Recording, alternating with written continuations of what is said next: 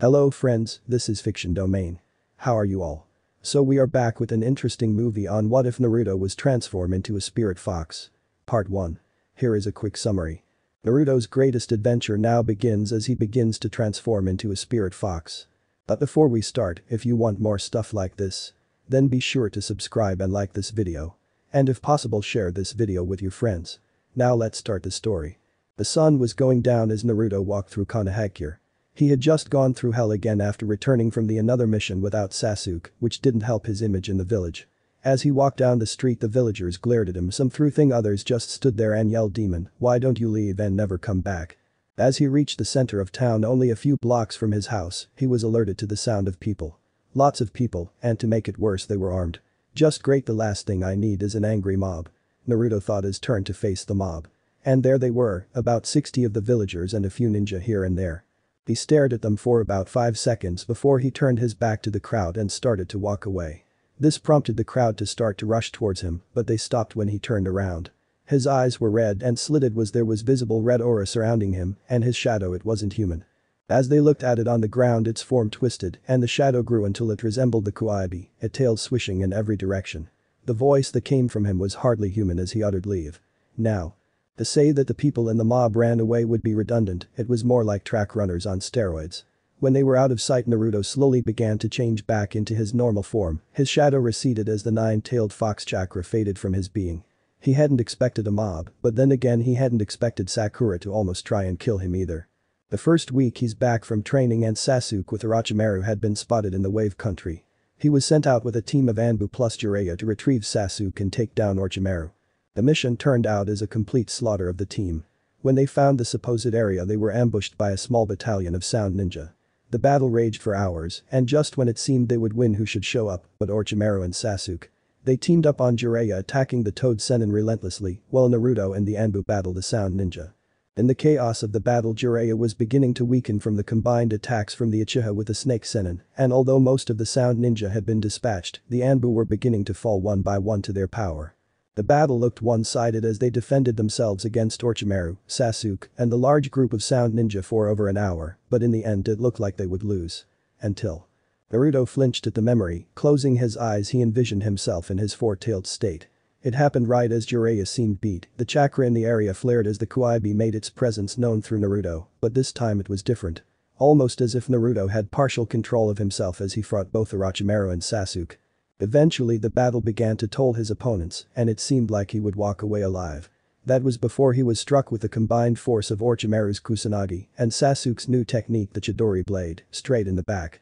But just when it seemed like all was lost there was eruption of red and blue chakra from his body, the force of it blowing away all in the area.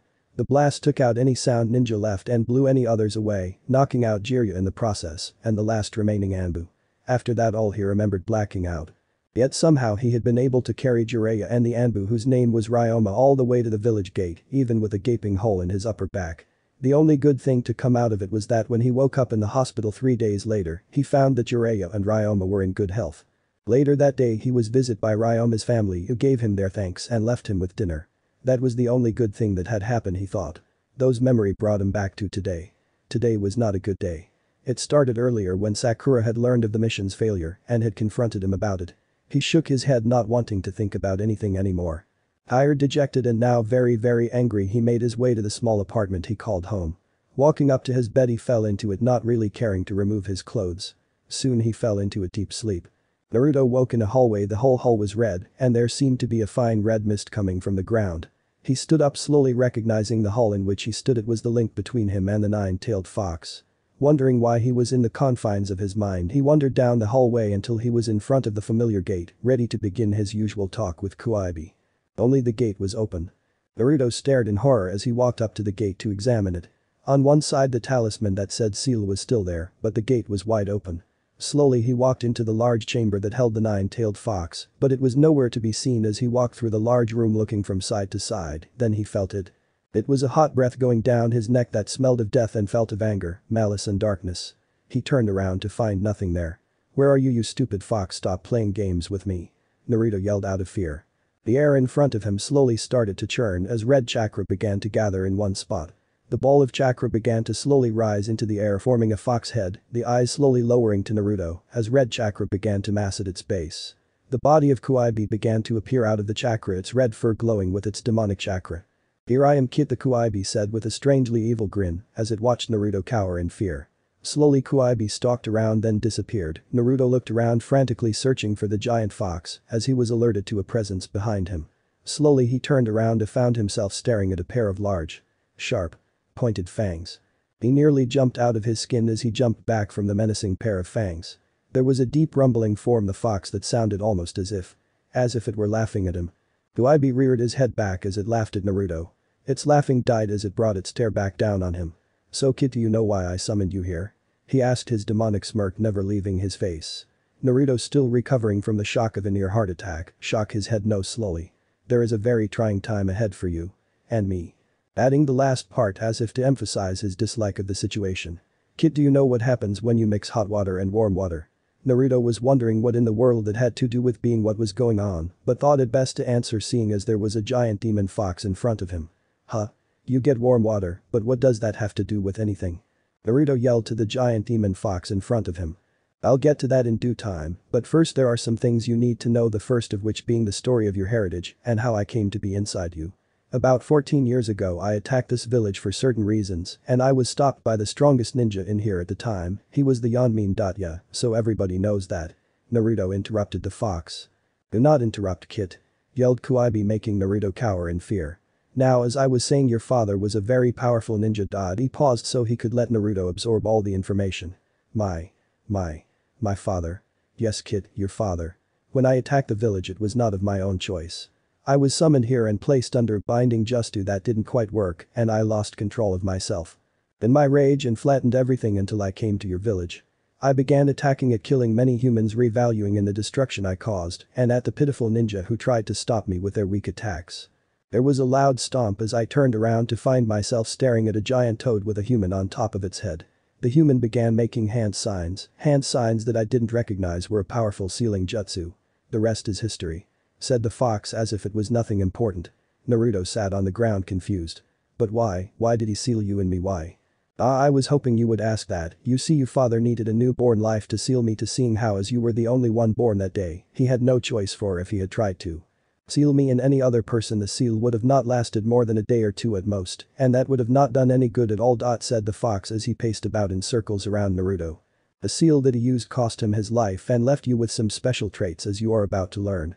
After the shock of realizing I had been sealed into a child I became even more angry, but that anger died after the first few months. Your father was the only being I have ever deemed worthy of my respect. So as a sort of. An honoring to him I will make sure you learn how to use and control your new abilities.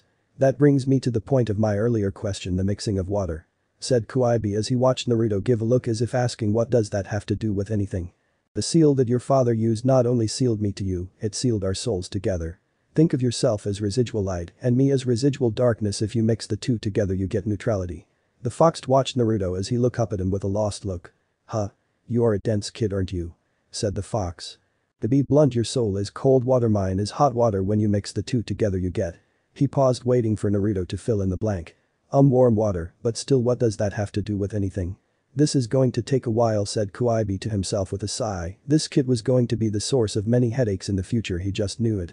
The seal that bond us together is now bonding our souls together, so in effect I am now a part of you just as you are a part of me in other words, you are turning into a nine-tailed fox. Naruto froze as the words from Kyuubi hit him like a hammer. I'm turning into a fox. He asked as he stared up at the grinning demon fox before him. In a way yes, you see because our souls have fused you have gained some abilities as I said earlier. From now on you will have two forms in which you can appear, your human form and your fox form. In addition to this your senses will sharpen and your chakra limits will increase greatly, you will still be able to use my chakra whenever you please though. He said with a bit of disdain. Then there is the mind link meaning that you will be able to communicate with me whenever you please, and vice versa. Naruto took note as the fox explained the things that would be happening soon. Soon with the next half moon you will change into your fox form for the first time, but be warned you will not have control over it at first, so just ride it out. You will notice your senses sharpen and your chakra will slowly start to build up over the next 3 day by then it will be the half moon and you shall transform for the first time. When you transform you won't be as big as I am, but you will be bigger than any normal fox. The fox let out a stifled laugh as a thought ran through his head. It would seem that I have in fact become part of your bloodline trait kit. All the abilities that you now possess will also become your offsprings as well, but we talk more on that later, now it is time for you to sleep Kitty said lower himself till he was laying at Naruto's side. Naruto soon fell asleep against the giant fox's side as one of the many tails slowly came up to cover him like a blanket. Kyuubi looked down at the sleeping boy, wondering why he had just did that in his mind he thought. For a human this kid is strong, but then again he not really all that human anymore, is he hahaha he laid his head down and fell into sleep. It was a strange scene, a boy lay sleeping against a giant nine-tailed fox. One of its tails covering him like a blanket while the fox lay asleep. The morning rays of the sun passed through Naruto's window as he lay still sleeping on his bed. Deep inside his mind his guest had already awakened some time ago. Wake up kid you have much to do today, he yelled at his would-be container from within the confines of his mind. Slowly Naruto rose out of bed feeling as if the world had crashed down on him. He then began to recall last night, wondering if it was all a dream it was no dream kid came the voice of Kyuubi. In his head causing him to jump out of the bed and land fac first on the floor. This is going to be a long day thought Kyuubi as he shook his head inside his would-be container.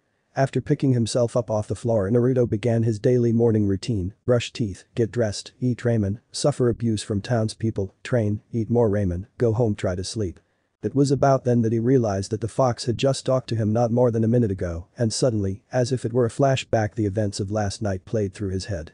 Then for the first time in history Naruto Uzumaki heir to the Yanmin container of the Kyuubi and future nine-tailed fox, fainted and fell to the ground with a very audible thump. Outside the hidden village of Konohana a group of sound ninja were planning their attack. They had received orders from Orochimaru himself before they had left the sound village.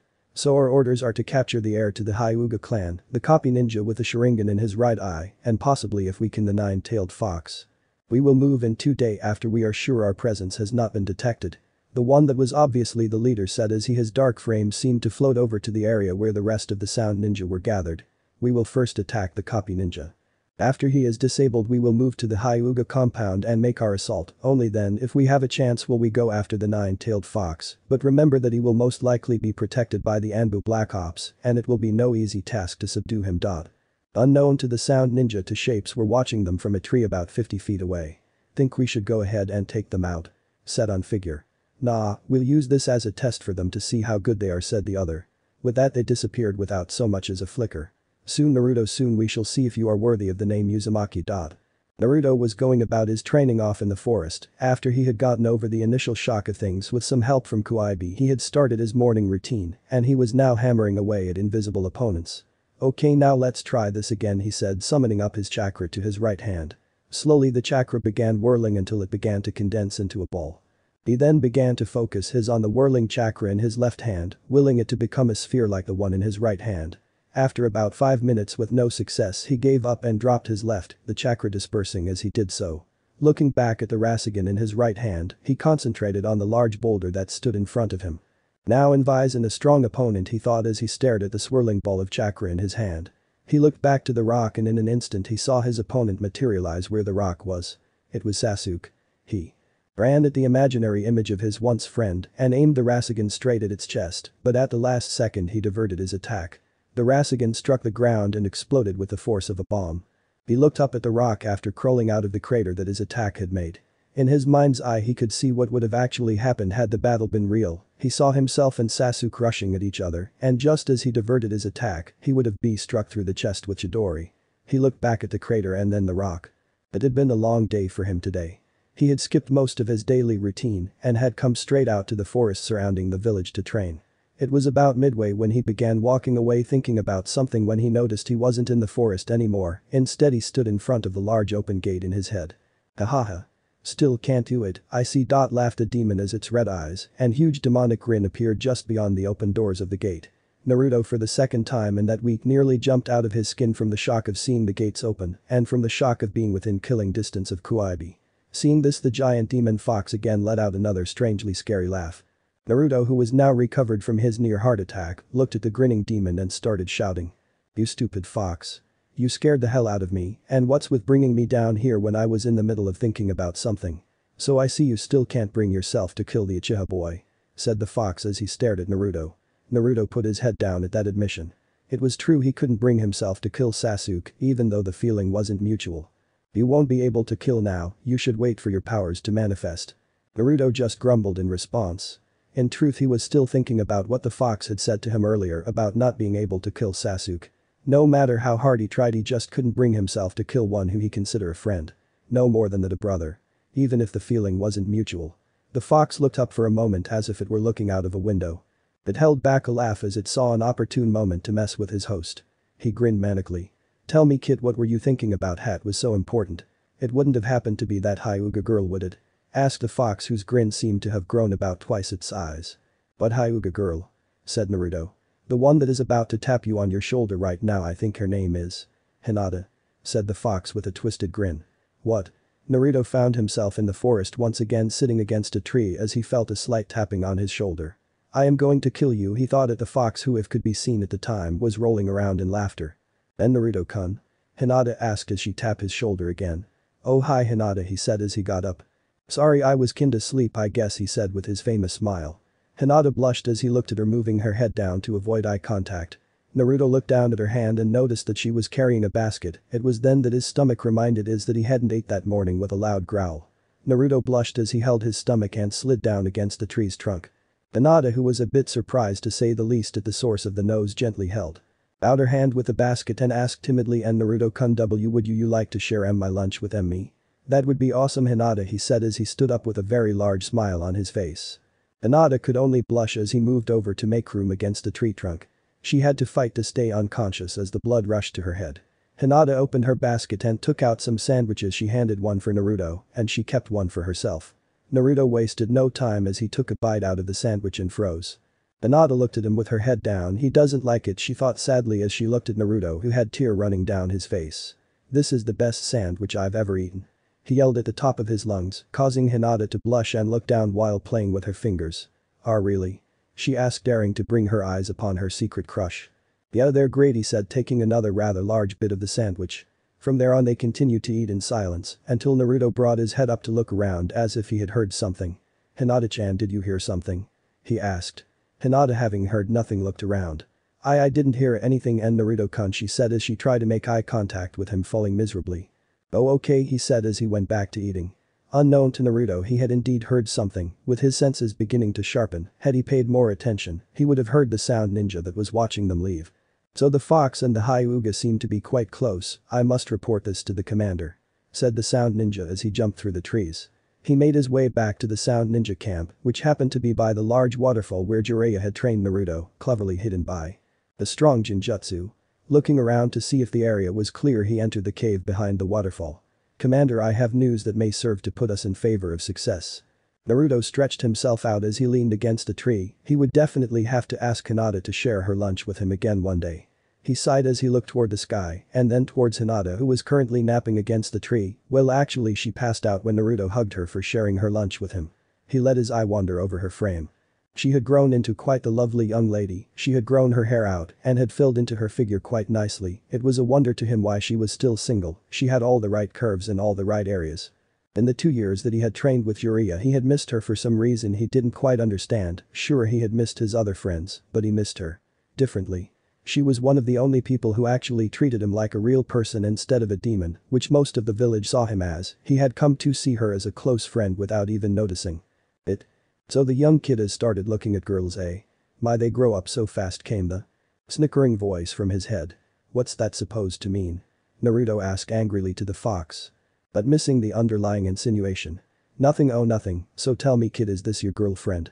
I the fox could be seen he would have surely have had a large grin on his face. What? Hinata is not my girlfriend she is just a friend, and that's it. From inside his head came the unmistakable laugh of the fox. Do you like her? asked the fox. What kind of question is that of course I like her. She seems quite attached to you kid. She is one who has treated you differently from the other, treasure her as she is a but a moonflower that will soon blossom. One that will not wilt when the harsh daylight of truth beams down. For you are as the light of the moon to her dot. But that said the fox retreated into Naruto mind leaving Naruto clueless before he could ask any questions. If he is anything like his father he'll figure it out in time thought the Kyuubi as he laid down for a fox nap. Naruto was indeed confused, partly because of the cryptic message Kyuubi had given to him and partly because of the question he had asked earlier. Sure he liked Hinata, but it wasn't like he was her boyfriend. But he found he didn't find the idea a bad thing. Am Fox leaving cryptic messages he said turning his head to her as she slept in peaceful bliss. Little did he know that the seeds of love had been planted within his heart and with some help for a certain nine-tailed farmer, they would soon blossom into something beautiful. Unbeknownst he and Hinata both were being watched by the same two figures from before. So that's the kid huh, said the figure hanging upside down from a tree branch. Yep that's Rashi's kid alright, looks just like him when he was little, said the one crouching on the branch next to him. Two days now till he transforms so let lay low and watch. Dot said the upside down figure. I agree let let what happens happen said the other as he turned to face the other. Besides I don't think that we the Aridamedo BATOUSAI 1 need to make our appearance just yet eh brother? Said the figure on the branch. Agreed. He said as he flipped up onto the branch to stand next to his brother.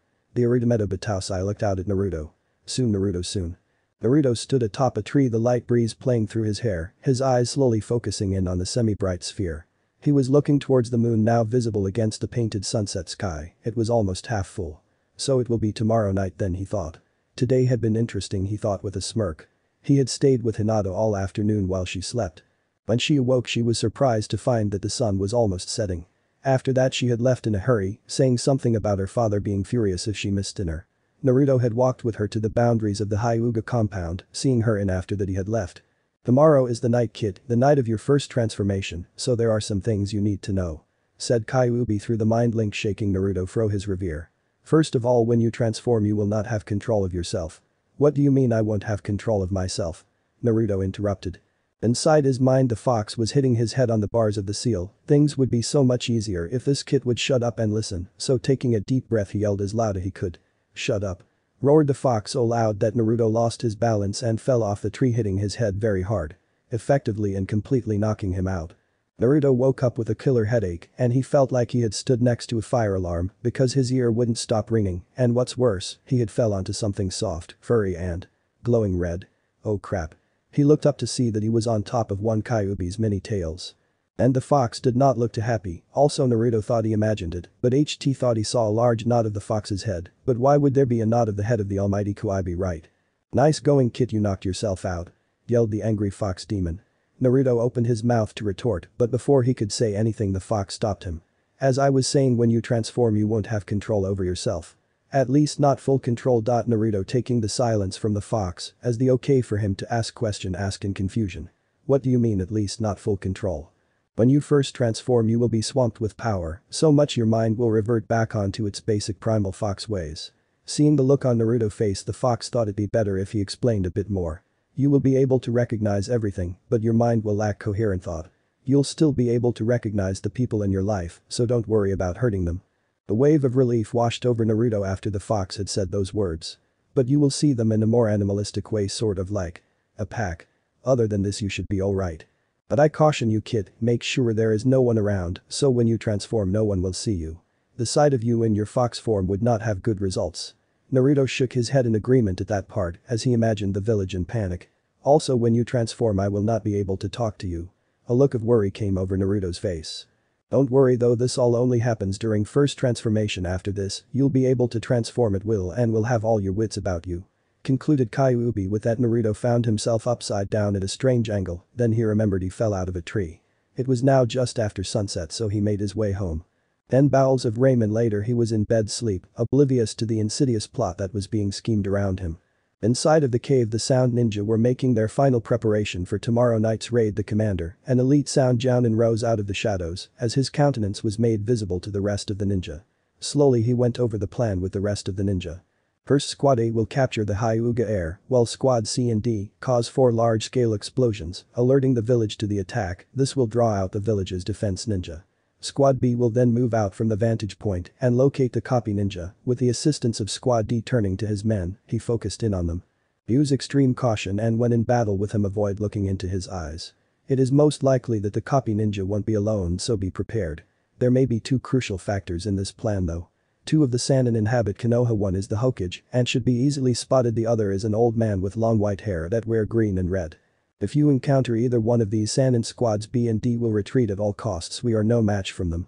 In addition to this I have received information that the nine-tailed fox in quite close to the Hyuga heir and there is a slight chance she may or may not be within the company of the nine-tailed fox so we will adjust the plan accordingly.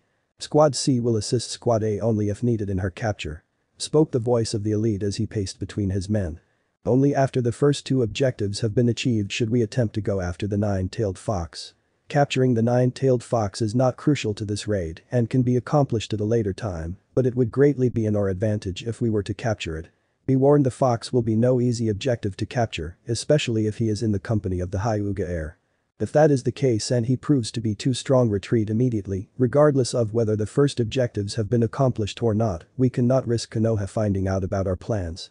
Unknown to them two Anbu guards stood in the bushes just outside the cave. We have to report this the Hokage dot with it they disappeared into the night. Not far from the two Anbu the Arai Meadow Bataus I watched from a distance. The cards are set dot and the game is in motion dot it was going to be one of those nights tomorrow.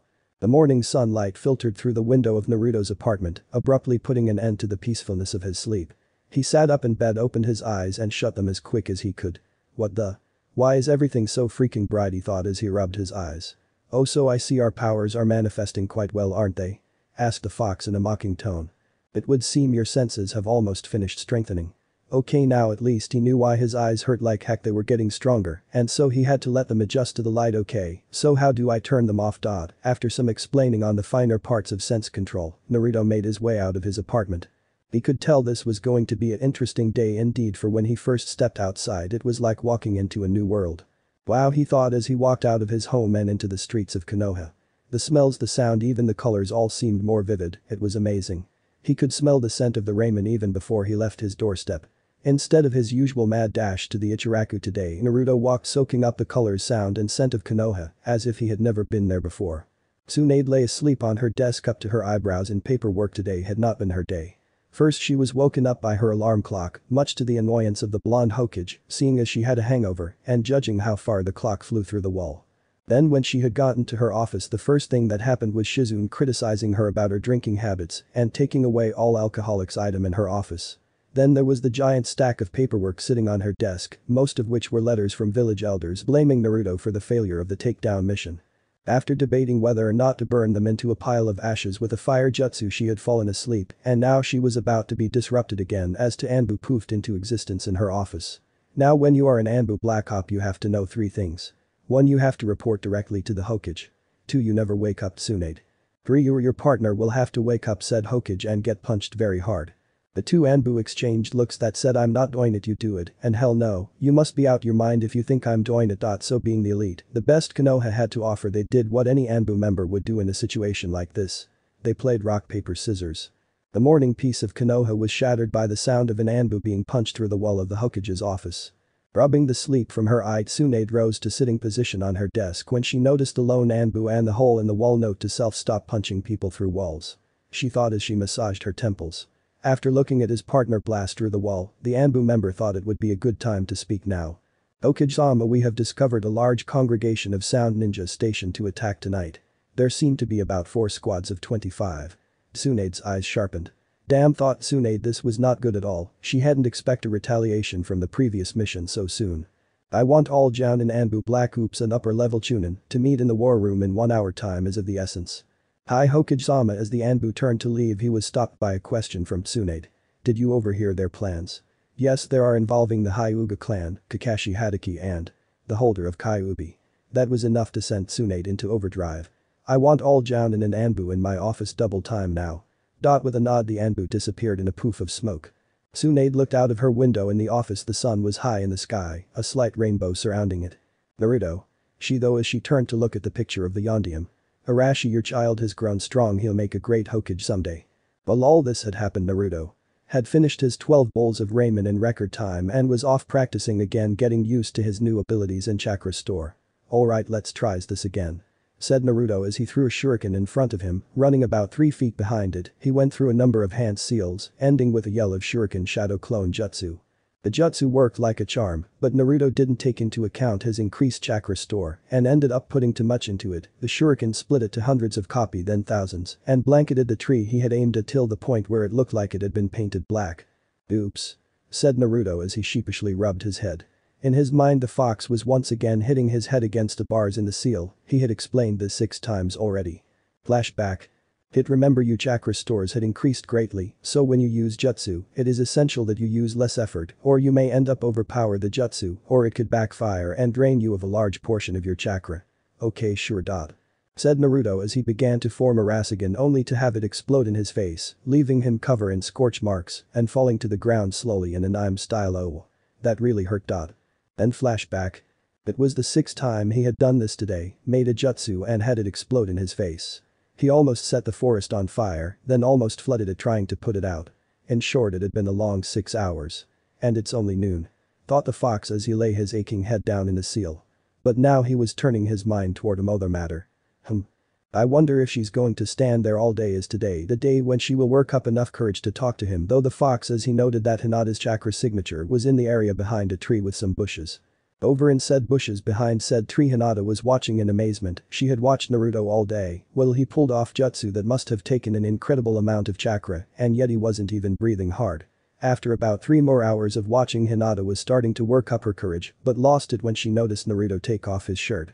Now she was fighting the battle to stay conscious as the blood rushed to her face. Okay let's try this one more time. Shouted Naruto as he pushed out both his hands and began to swirl chakra in them. As the chakra began to form into spheres it looked like everything was going good until. Kid. Watch the chakra in boom put. The spheres exploded with the force of a bomb, effectively leveling everything within 20 yards and knocking Naruto out cold. Naruto-kun. Hinata yelled from her vantage point as she made a mad dash to the blonde side and tried to wake him by shaking his shoulders, but he was out like a light and down for the count. It was at that time that she realized not only was she next to him, but that she was touching him too. So what did Hinata do? She did what any shy Hinata-like girl would. She fainted. Elsewhere. All the Jounin and Anbu were getting restless they had been called here and reported a crisis level speed, but the Hokage was missing. The tension was building in the room they all knew something big was happening to be called here at the same time as the all Anbu. Kakashi was deep in thought something big was up and he had the feeling it had something to do with Naruto he just knew it. There was a short pause as Tsunade entered the room all the Jounin Anbu and even a few here and there Chunin looked to her. We have received information that Konoha is going to be attacked within the next few hours, so we are going to immediate red alert, but we must carry this out in stealth, we don't want the villagers panicking that will give the enemy an advantage, as well as cause unnecessary deaths. There are about 100 sound ninja posted outside the village there are split into four squads. From what we gather this mission is to be a raid their targets are the heir of the Hyuga clan, Kakashi Hatake and. She paused mentally sighing for the oncoming onslaught of comments and yells. Naruto Uzumaki. The room went quiet for a few seconds before hushed voices began to spread. Others of we should have killed the demon a long time ago among other things could be heard. Tsunades' anger began to rise how stupid they were. Quiet now. I don't care what issues you may have, but you have two minutes to get over them, or have you forgotten the law still in place by the third? That shut them up quick. Now these squads are split into groups regarding their targets. We know that this mission will take place at night, so I want the streets clear by 7 she said her tone serious. We know that they are to target Hinata Hyuga first, knowing that the commotion will alert our ninja drawing out Kakashi. We know that only after this will they try to capture Naruto. We will counteract this plan while it happens we can let them invade our village and think they can get away with it. We will rally our power and strike back. Yelled the female Hokage. Hi Hokage-sama. But that all the ninja in the room disappeared leaving Tsunade and Shizune alone in the room. Glancing over at the clock Tsunade sighed only a few more hours she thought. I need a drink. Now you know that won't help. Quipped Jiraiya as he made his entrance through a window. I didn't think that Orochimaru would mobilize a retaliation this quick after last time. But whatever he is planning it is big to be going after those three. He said as he trained his eyes on the clouds through the window. What do you mean? Tsunade replied not knowing where this was headed. Think about it the Hyuga heir and Kakashi. What would Orochimaru gain from them? Tsunade's face was grim as she knew the answer Sharingan and Byakugan. But what about Naruto where did he come into play with this? What about Naruto we know Akatsuki is after the Kyuubi, but Orochimaru wants to capture Naruto now too something just isn't right here and I want to know what it is. Dot. The sun was just beginning to set and out in the training area, two people were just now waking. As Naruto was slowly coming back to the world of the waking he tried to rise off the ground but was met with some difficulty as he felt he was being pinned down. Slowly his hands came up to grasp something soft warm and smelled like lavender. What the? He opened his eyes and was greeted with the sight of long black hair Hinata. Now Hinata was off somewhere in La La Land. In her dream she was laying atop Naruto cuddling him, so it was natural that when he pulled away to sit up, she cuddled even more into his chest. Naruto was now starting to blush as the girl began to cuddle him, but he was also getting a good look at her. This was the first time he had been this close to Hinata, and while he looked at her he slowly taking beauty and wow Hinata is pretty. Dottie thought. As the moon came out from behind the clouds, she seemed to light up with an ethereal glow, illuminating her face and making her hair shine with silver light. As she began to stir she opened her eyes bringing them up to look at him, coupled with the moonlight she looked like a goddess to Naruto the word pretty just did do her justice. He was barely aware as he said one simple word dazedly beautiful. Dot Hinata's face lit up in a blush that Naruto could only described as cute. Now that she was awake the full impact of what was happening came down on Hinata like a ton of bricks, she was laying on top of a bare-chested Naruto who had just called her beautiful, so that meant that her dream was. Hinata did the only thing she could think of. She fainted. Again. Naruto was confused why did she just faint like that? Did something happen to her? Was it him? Oh well he thought as he gently moved Hinata off of him she sure was beautiful in this moonlight. Wait moonlight. His eyes shot up towards the sky and sure enough the moon was out. Oh no he thought he would start to transform soon. His thoughts flew toward Hinata he had better get her home and quick he didn't want her to see him transform. He moved over to her prone form and gently began shaking her. It took a little while, but she finally opened her eyes. Nar. Yudo-kun. She uttered as the blonde looked down on her and smiled hey Hinata-chan it's getting late, maybe we should head back to the village now. Hinata could only nod her head.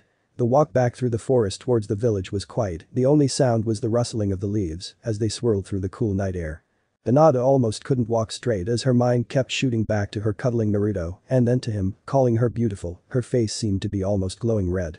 Unbeknownst to her Naruto was going through the same ordeal and was sporting his own blush, albeit smaller each wanted to say something to end this cursed silence, but neither could bring themselves to form words with their mouths. As they keep walking the village came into sight lightening the mood a bit as Naruto looked toward the moon again only a little longer. If only Naruto knew that he and Hinata were walking into a trap. The village streets were quiet and deserted if one could see it, they might be able to catch a shadow streak across one of the rooftops. This squad A leader we have the heir and the fox in our sights, we will wait for the signal and then strike. dot said the squad leader into the headcom. The voice of the elite was heard over all headsets. Now let Operation Leaf Blower commence. As soon as that was said all sound ninja began to move into position, not knowing that they were being watched by a group of Jounin and Anbu opposite of them. Kakashi looked down at the two walking the barren streets of Konoha damn it, this just got a whole lot more complicated. He said under his breath. And they were about to get worse. A huge explosion rocked the ground and almost immediately after Ninja could be seen rushing to the area. Streaking across the rooftops and squad of Anbu rushed to the scene of the explosion, we have to stop them before they get the chance to set off any more bombs. Yelled the Jounin as he began to engage with the sound ninja the clang of kunai sounded through the village as the battle began. Commander we've been ambushed, shouted the squad leader into his headset. Squads B and D engage the enemy squads A and C continue with the mission. Naruto had no clue what was happening one second he was walking next to Hinata, the next he was in the middle of a full-scale battle, engaging a sound ninja with Hinata being engaged in battle herself, but now wasn't the time to think about that as he rushed his opponent with his kunai ducking and weaving as the blades crashed and sparks showered the area. He ducked a fist and jumped over a kick, only to be met with two more sound ninja on each of his sides, bringing up his total number of opponents to three. This wasn't going to be easy or so he thought as one of the sound ninja dropped revealing Kakashi. Kakashi-sensei he yelled as he turned his attention to the copy ninja just missing a blow to the head. Naruto and Kakashi were back to back now Naruto listened carefully I want you to take Hinata and get out of here quick. Said Kakashi as he uncovered his Sharingan. But what's going on? He asked as he counter a punch being thrown from one of the opposing ninja. This is a raid their target are Yumi and Hinata. Said Kakashi deflecting a barrage of shuriken. All across the village the sound of battle rang out through the night air as Chunin, Jounin and Anbu rose to tackle the threat to their village. The ground shock as another explosion went off. Jutsu flew through the air as the battle began escalating. If one could see it from the sky they would notice the different section of the battle moving in towards the middle of the village, beginning to converge on one spot. By now there were too many sound ninja for Naruto to escape with Hinata for everyone he killed two more popped up. He could feel the demon chakra in him starting to grow as he fought these were high level opponents and he didn't think that he'd be able to last much longer without drawing on the Kyuubi's chakra. Hinata was having a bit of trouble herself she had never fought such high-level opponents before and was having trouble just dogging their blows. While she did manage to get in a few Juken strikes here and there it was obvious that she was starting to wear down playing right into the sound ninja hands. Hinata wasn't aware that she was being separated from Naruto and Kakashi as she continued to fight with all her heart. Naruto and Kakashi had managed to get most of the opposing force in the area on one side, but Kakashi was surrounded. That's when an idea struck Naruto. Kakashi-sensei get down. He yelled as he pulled out five shuriken throwing them in the air, going through some hand seals that Kakashi recognized. Shuriken Shadow Clone Jutsu. Kakashi dropped to the ground as a barrage of shuriken flew over him and straight into the sound ninja that tried in vain to block the ridiculous amount of shuriken that flew at them, killing all in their way. As the bodies of the sound ninja dropped Kakashi was wide, Kakashi was shocked he had just seen Naruto use a technique that was Hokage level the sheer amount of shuriken that he created must have took an extremely large amount of chakra, a wonder he's even standing. The attack had taken out a large portion of the enemy and they are allowing for a brief few seconds for Naruto to look around, only to notice that Hinata was overpowered. Hinata. He thought as he tried to reach her. Hinata was beginning to slow-mo faced with so many opponents. Seeing this the sound commander saw this as a chance and leaped into battle with her. Keep the fox and the copy ninja busy while I take the heir then retreat we cannot at this time take the copy ninja or the fox, so we will return at a later time. Yelled the elite. Hinata heard the words but was confused there was no fox around here, but the sound elite was clearly looking at Naruto as he said the word fox. Could this be some sort of nickname for him from Orochimaru? It didn't matter she thought as she prepared to fight the sound elite. I won't let you hurt Naruto-kun. Shouted Hinata as she took her Gyuukin stance all her tiredness disappearing, she would not let them hurt her Naruto-kun. With a battle roar she rushed straight at the elite ninja. For the sound elite he thought this would be an easy knockdown and take away, but this girl wouldn't give this makes no sense the Hyuga heir is supposed to be only a Chunin level, but this girl fights like a demon. If I don't end this soon she may manage to land a blow with the style of herses. Hinata pushed her chakra through her hand as it flew to towards his chest, only to hit a log and have appear him on her side striking at her shoulder with a kunai, she just barely dodged as it lightly grazed her arm. Hinata winced as the cut started to draw some blood, seeing this as his chance the sound ninja came at her head with a kick. Time slowed down as Hinata saw the foot lunging toward her it was too late to dodge it, she only had one chance left, and she hoped it worked. Pushing chakra throughout her body she began to whirl as fast as she could Kaiten. She yelled as the wave of spinning chakras sent the sound elite flying backward into a wall. Hinata let go of a breath she didn't know she was holding all those hours of training had paid off after all. The sound elite began to rise, he defiantly was not happy, so it would seem that you are quite strong, quite the contrary of what our reports say. I didn't think I would have to use this. At least not on you, but we have a schedule to keep and Orochimaru-sama would be quite displeased with me if I didn't bring back at least one objective and I can't have that happen. No that wouldn't be good at all. He said in a sinister tone Hinata got ready for the worst, but something was wrong with her Visor, it looked as if the sound elite was shaking. No not shaking vibrating. There was now a dull ringing in Hinata left ear that was growing beginning to cause head-splitting pain. She dropped to one knee as the sound elite nonchalantly walked over to here. This is a very special jutsu allow me to explain, the vest that I am wearing emits a very high hypersonic frequency. Normally this wouldn't be able to be heard by humans, but the sound wave have been altered in effect specifically for human ears. The sound wave is focusing on the parts of your ear that control pressure in your head. He said as Hinata began to weakly rise from her knee. Your ear normal release this pressure through special tube, but this jutsu stops that from happening, causing the pressure to build in your ears to build creating the feeling of your head about to explode. Lunging at her he punched her straight in the stomach. Hinata felt like her body was being shaken apart as high fist drew back she dropped onto her knees holding her midsection. Almost forgot about the second part oh well you just felt it. The while the vest emits high-frequency sound tuned for your ears, my body is emitting a very low frequency so low that it interferes with the human body's natural frequency, in effect shaking you apart molecule by molecule, causing extreme pain. Hinata was trying to stand up, but the pressure was too much she blacked out nah. Rudo. Kun. Hinata hit the ground. Naruto was fighting his way through the sound ninja, but they kept coming he was starting to wear down he was getting angry, and that anger hit boiling point when he saw Hinata hit the ground Hinata. He yelled as red chakra began to boil out of his skin, his whisker mark growing bolder and darker. He wheeled around to the sound ninja in front of him red eyes blazing Rasengan in hand. Those poor sound ninja. Naruto literally tore through them like paper, the last one being the unfortunate soul that received the Rasengan by now Naruto was glowing with red chakra as he ran toward the sound elite the head Hinata hoisted over his shoulder. The sound elite could feel the boy's chakra as he approached. So this is the power of the Kyuubi it's incredible and from what we know I think it'd be in our best interest to retreat now. All forces pull back to me we have the heir we cannot at this time capture the copy or the fox. He said as he jumped onto the roof of a building. All across Konoha the sound ninja began to move toward the area where the commander was. Just as Naruto was about to leap into the air the commander pulled a kunai and placed it at Hinata's throat. You might not want to do that fox or else your friend here won't come out so well. Naruto froze to the spot he had to find some way to get to Hinata. The sound elite laughed as about 20 sound ninja appeared behind him, so the famous Kyuubi is afraid we'll hurt his girlfriend what pathetic excuse for a demon fox. He cackled as the moon the moon hit the highest point in the sky and the wind began to howl. Stop right there shouted a lone Anbu as he appeared on the roof across from the group of sound ninja. By this time a few ninja were just coming into view in the distance. It was no surprise that it was Asuma, Kurenai and Guy were the first on the scene. Naruto paid no attention to the new arrivals, as only one thing was on his mind saving Hinata. The wind was now howling like a twister as the red chakra began to increasingly noticeable. All attention was starting to draw to the boy as his back arched, his head drew down, and he began to growl his the chakra taking the shape of a fox.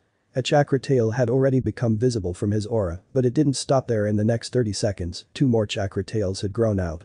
The sheer amount of killer intent he was putting out had frozen all in the area. This boy what is he? Thought the sound elite as he tried to stay in control of his fear. Naruto could smell it. The fear he could feel coming off sound elite. The growling was getting louder almost yelling. Naruto raised his head and stared straight into the eyes of the sound elite, a fourth chakra tail erupting out of the aura. Those eyes so much anger so much malice so much. Bloodlust. This is no boy this a demon. He was vaguely aware that he was shaking as he still had Hinata hoisted on his shoulder. Kakashi watched on with eyes wide through his Sharingan he could see Naruto's chakra still building this is not good Naruto what is happening to you. Just when everything was as bad as it could get the unthinkable happened a fifth tail shot out of the aura and there was a large outburst of chakra that knocked everyone on the ground off their feet. So much chakra was coming out of Naruto now that it had formed an red opaque dome over him, only the chakra tails were visible now. With all the enemy forces gone the ninja of Konoha turned their attention the are where an extremely large chakra presence could be felt. All of Naruto friends had gathered in and were rushing towards the area. Tsunade and Jiraiya were also heading towards it each thinking only one thing Naruto please be alright.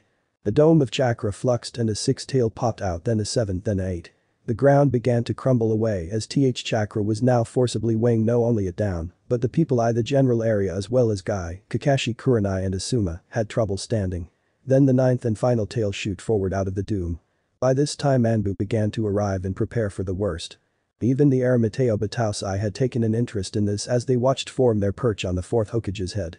Well I don't think Arashi expected this to happen when he sealed the fox inside the kid. Yeah, things just got a lot more interesting. Time seemed to stand still as the shrill roar of the fox echoed throughout the entire village of Konoha, causing all of the older generation ninjas blood run cold. Inside the home of the villagers many were starting to panic that sound that roar Tsunade and Jiraiya were sweating as they made a full about face from the direction they were going in, as they felt the chakra from Naruto's transformation. Naruto what the hell is going on. dot.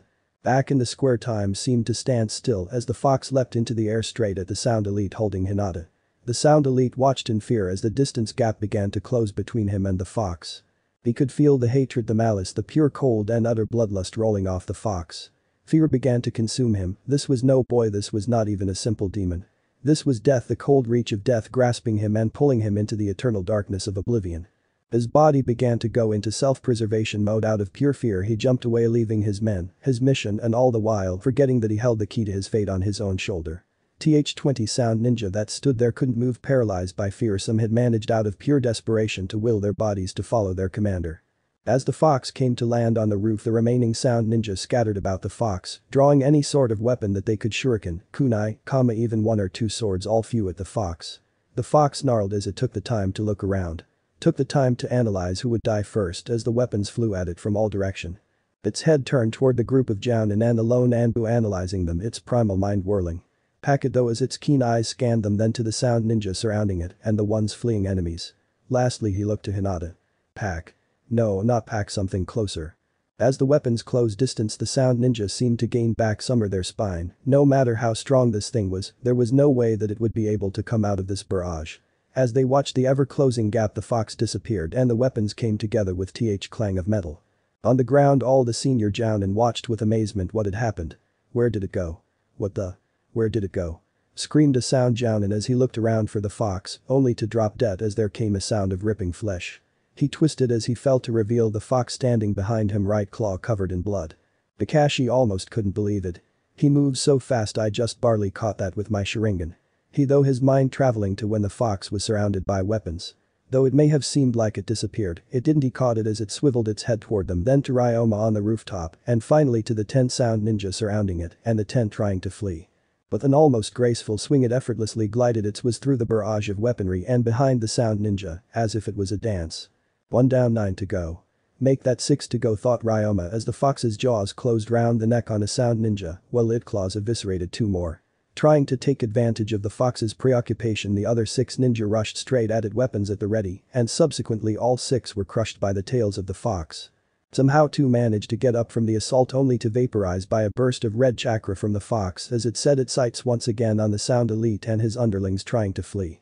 It opened its mouths and a small sphere of chakra began to swirl there. Kakashi stared at it wide-eyed Rasengan. True to its name the sphere began to spin changing from a deep blue to intense glowing purple dot taking aim, the fox launched the sphere like a cannon, it flew straight in front of the moving sound company, exploding just in front of them halting their progress. As the smoke cleared they found themselves face to face with the fox once again and it was on the offensive.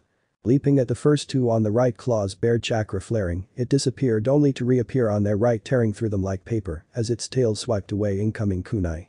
While this was happening two more sound had launched a sneak assault. All of a sudden the fox's feet sink into the roof of the building as a solid rock spire shot throughout the torso of the fox. Upon seeing the fox impaled the sound elite immediately let out a breath he didn't know he was holding. But something was wrong the fox was dead or soon would be yet he felt as if he was still standing on death's doorstep. There was a loud poof as the fox exploded into smoke a shadow clone. Thought the elite as his head and the other eight zoomed around searching for the fox when they were alerted to the wall parallel to them. Standing on the wall like a spider about 15 feet above their heads posed and ready to strike as it looked down on them was the fox. It formed another Rasengan and launched it at the 8 sound ninja the resulting explosion took out all but two of the sound jounin, which were somehow able to get away from the blast and immediately started to flee, leaving the elite by himself staring in fear as the fox slowly walked down the wall, never taking its eye off him. Hinata shuffled a bit in his grasp. It was then that he was brought back to the fact that he carried the girl on his shoulder as she squirmed a bit beginning to show she was coming back to consciousness. Wait the girl. He could still save his life all he had to do was use the girl. As the fox was moving towards him he moved towards the edge of the building. The fox was now in striking distance now it was time to enact his plan without a second to spare, he threw Hinata over the edge of the building and leap away in the opposite direction. The fox didn't even take the time look as it jumped off the building after Hinata. Maneuvering in the air so that she was on his back he gently wrapped two of his large bushy tails around her and pushed himself off of the wall they were so rapidly falling by. Hinata was in that state that one enters between conscious and unconscious at first she felt as if she was being held by evil and darkness and now she felt as she was falling, but there was something else she felt something familiar, it made her feel warm and comfortable like everything would be alright. Hinata was starting to wake up now just barely, but enough to see what was going on. Now that he'd gotten Hinata the fox had one more matter of business to handle, as it landed on the roof, its eye focused in on its target the three fleeing ninja it opened its mouth and shot down the two sound jounin that had escaped earlier with Rasengan then disappeared. The sound elite was running as fast as he could, he had managed to clear five building without being taken by Anbu, and there was no sign of the fox. Or so he thought. Appearing out of nowhere stood the fox about 10 feet in front of him the girl on his back. He looked eyes with the elite for a second, allowing the fear to seep back into his heart, opened his mouth and began to form a Rasengan, but this Rasengan was far more powerful than the others it was so strong that it glowed a dark blue as it took form. The whirling sphere of chakra kept growing it was now over triple the size of a regular Rasengan about the size of basketball, all the while the fox kept his eyes locked with the sound elite, though it couldn't be heard the message was clear. He was going to kill him and there was nothing he could do about it. He could run and be hunted down he could try to fight and be massacred, but either way he was going to die. The Rasengan fired with so much force that when it hit the elite, it propelled him backward through the air over five building and straight into a wall where it promptly exploded. Now all was quiet the senior Jounin stared at the scene in front of them in the last 10 minutes they had seen a boy transform into a fox, then take out 20 sound Jounin recuse the heir of one of the most powerful families in the village and blast one sound elite into oblivion. The killer intent from the fox died down as the chakra began to decrease in the area, its one slitted red eye now turned to a cool ocean blue as it hopped down from the building and walked toward the Jounin, stopping about 15 feet from them. Hinata was now fully awake confused, but awake it's not every day you wake up on a giant red fox with nine tails. Looking back at the girl on his back the fox sat on his haunches allowing Hinata to effortlessly slid off his back. Heading up again the fox turned to look at Hinata a bit before he muzzled her some. Hinata on her part didn't know what to make of the situation, but smiled and blushed as she let the fox muzzle her, then took a step back to look at it. To her he was beautiful crimson fur so vibrant it seemed alive nine tails swishing around slowly and an aura that made her feel safe and warm. There was something familiar about the way this fox felt it seemed so close to him right down to the ocean blue eyes. So warm and. Wait foxes don't have blue eyes and this indescribable feeling she only felt like this when she was around. Wait no it couldn't be. Naruto-kun. Hinata asked in surprise as she looked wide-eyed at the fox. Naruto looked at her blue eyes shining as they stared into her pale lavender white eyes. Then in the next few moments things began to change. There was the sound of kunai impacting with flesh and pain he felt pain Naruto-kun. Hinata yelled. He looked to his side and saw ninja coming to the area from all directions they were staring at him in fear and hatred, yelling things like no, it can't be it's the Kyuubi kill the demon now. Dot. His primal mind couldn't understand why he was being attacked, so pulling the out the kunai in his side with his teeth, he leapt up on top of a building. By now a small group of ninja and some villagers had made their way to the square among them were the rest of the Konoha 11. Naruto looked down at the crowd as more kunai and shuriken came flying at him. Pain why did they wish to cause him pain? His primal mind couldn't understand it confused and heard he let out a pained roar and soared across the top of buildings with unparalleled speed straight towards the forest. Sakura Ino and the others were the first to reach the senior Jounin, witnessing the fox skipping over the rooftops. As soon as he saw them Kakashi gave an immediate order all of you after that fox capture it, but do not injure it in any way, or it will be your heads. Dot taking a second to look at the path the fox had just went in they took off after it. Hinata watched as Naruto disappeared into the forest he was leaving and she felt something. Coldness, fear of losing Naruto she didn't care if he was a fox or not, she didn't want to lose him. She dashed off right behind the others running as fast as she could. Tsunade and Jiraiya had just arrived in time to see the fox before it streaked into the forest and now it was time to get answers. Marching up to Kakashi she looked him guy and the rest straight in the eyes answers now dot so they began the arduous task of debriefing. On the top of the highest building, the Arameto Hitokiri looked on with a coolness that seemed out of place, considering what had just happened. Interesting so it would seem that Naruto has transformed I wonder what will happen next. We'll worry about that later little brother tomorrow they will be attacked again, but this time they know it, so let's give them a hand eh? Works for me. With that one disappeared as the image of a log floated in air for a second, while the other jumped off the building and streaked across the rooftops with unparalleled speed, invisible to the eyes of all. Okay split up into your teams. Yelled Shikamaru as they passed throughout the wood and blurs Shino you come with me, Ino and Choji your bugs will come in handy for tracking. Sakura you're with Kiba scent as troublesome as he is Naruto's not here try and track the fox's scent. Neji. He didn't have to say more as Neji had already activated his Byakugan and had Lee and Tenten following. Report back to this or when you found something if you don't find anything in 3 hours report back here so we can mobilize a larger search team. Dot. Hi. Came the collective yell as each team split off in three different directions. Hinata had gotten a late start in following them, so she was farther behind than the others and had no idea where they had gone off to. She jumped through the tree activating her Byakugan, searching for any sign that might give her a clue. In her near 360 degree range of vision she saw that each they had split up into three teams and were heading in opposite directions. Hinata had no clue where to go so she did the simplest thing one can do she followed her heart. Neji Lee and Tenten jumped from tree to tree scanning, searching for any sign of the giant fox they had saw bringing up the questions. Hey Lee what do you think that thing was back there anyway? Asked a weapons master as she recalled the recent event. I do not know teammate, but I think it may have been a fox of some kind. Answered the Taijutsu master. Yeah but a fox with nine tails and the size of it. I've never seen a fox that big it was bigger than Kiba's dog. If we do find it how are we going to catch it without harming it? Dot she asked as they move along the branches now leaving the village territory. I do not know Dottie began, but the flames of our youth burn strong and will see us through. Shouted Minnie the guy causing Tenten to sweat drop, thought it couldn't be seen Neji to frown. We won't be catching this fox. At all it is likely that we may encounter it, but capturing it with or without harming it is out of the picture, and I believe you now why he said without looking back Lee and Tenten gravely nodded their heads. It was clear as day to the Hyuga this fox whatever it was was strong really strong, considering how much chakra was coming off of it as it leaped across the roofs in the village. There might be a chance that they could capture it if it was Shikamaru's team that caught up with it first, considering the Nara's ability to manipulate shadows, but that hope was dashed as he caught something moving about a kilometer ahead of them. It was the fox. Tenten and Lee immediately noticed the Hyuga prodigy tense as they moved closer to him seeking info. The fox is ahead of us by half a mile, now we will attack from three side in a tri-formation. The fox had no clue it was being followed so it had stopped running and now looked out at the moon. Neji checked they were downwind of the target he signaled Lee who signaled Tenten everything was going to plan, maybe they would be able to capture this thing after all, thought Tenten with a smile. Unbeknownst to them the fox had already caught their scent and even before that it heard them following now it waited for them to pounce. The moon was temporarily clouded over turning the small clearing into a dark chilling patch of forest. Slowly they waited all of them waiting for the single moment that would decide their fate as the cloud began to pass the moon once again bathing the clearing in its ethereal glow. The seconds ticked by like hours each growing longer and longer as the three Chunin moved slowly into positions around the fox, each hoping each wishing each praying. A cricket chirped a spider struck a trap was sprung. Poof a puff of smoke was all that was left. What the hell happened? said Tenten. I do not know my comrade said Guy Jr. Neji couldn't believe it. It just wasn't possible it couldn't have be.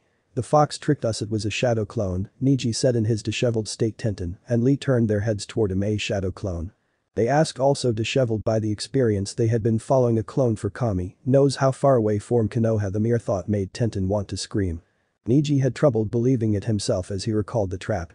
They had sprung swiftly from their areas Tenten launching shuriken at the fox's feet, while Neji and Lee made a move with a double-wire shuriken net, effectively trapping the fox, or so they thought as it disappeared in a puff of smoke. Neji survived his team Lee was say something or other about the flames of youth, while Tenten was about to pull her hair out, so being Neji he took charge. Fate has dealt us a foul hand, let us hope the other fare better. With that said he motioned for his teammates to follow him as they began the long journey back to the Rendezvous point. Elsewhere. Kiba duck. Yelled Sakura as the fox's tail slammed into the tree where he was standing. Kiba had managed to duck just in time as the tail of the fox flew over his head. The fox turned its attention back to Akamaru now as the giant dog stood growling behind him. Whipping one of its tails about his muzzle, he threw the giant dog down on the ground in front of Kiba. Sakura sighed this had been going on for quite some time, it was as if the fox was playing with them not really trying to hurt them. The fox stood looking at Kiba and Akamaru as they got up off the ground, its muzzle showing a full set of teeth that could have been mistaken for a grin, its eyes lighting up as if saying oh did you fall down. Dot. Aye it was mocking him Kiba didn't know how, but he knew it, this fox was mocking him. The strange thing was that whenever Sakura tried to fight it, it would back away like she had the plague or something, giving her a look of anger as it growled and snarled at her. This ends now. Thought Sakura as she focused her chakra into her hands.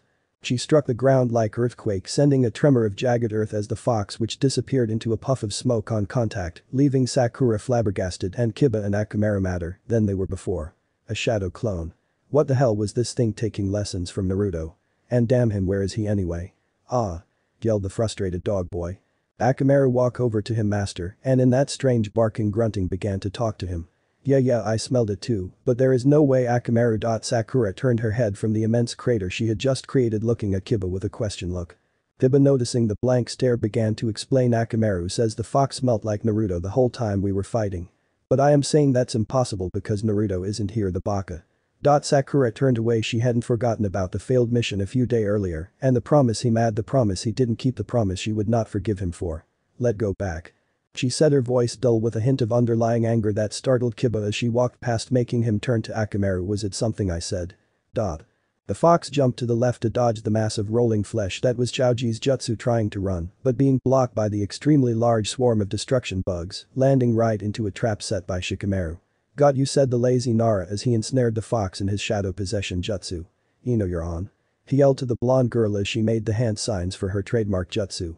Mind transfer jutsu. Everything was going smooth until then, as soon as her mind made contact with the fox, it was like turning on a cable-less TV. The resound poof blew her back to her mind, leaving everyone confused. This is so troublesome. It had been three hours since they all had left back in Konoha Kakashi, and the other Jounin had just finished their report when the entire team appeared behind him. Tsunade was on the like flies to a kill. Did you find the fox? She asked nearly running Sakura over. No sensei she said as she hung her head seeing this as a chance to explain Shikamaru's step up and began to talk to the frantic Hokage the fox duped us, he said in his trademark lazy tone, stifling a yawn. Tsunade looked at him a vein beginning to bulge in her head, but before she could vent the anger, Sakura stepped up to stop her sensei. We split up into teams to try and track it, but we only found clones, and she proceeded to tell the rest of everyone's encounters with the fox to Tsunade. As she finished Tsunade was rubbing her temples, this was not good not good at all, from what she heard from Kakashi Naruto had ran away when he had been attacked by the village ninja after saving Hinata. Wait Hinata. Didn't she go with them where was she? Oh no. Tsunade felt a headache coming on. Where is Hinata?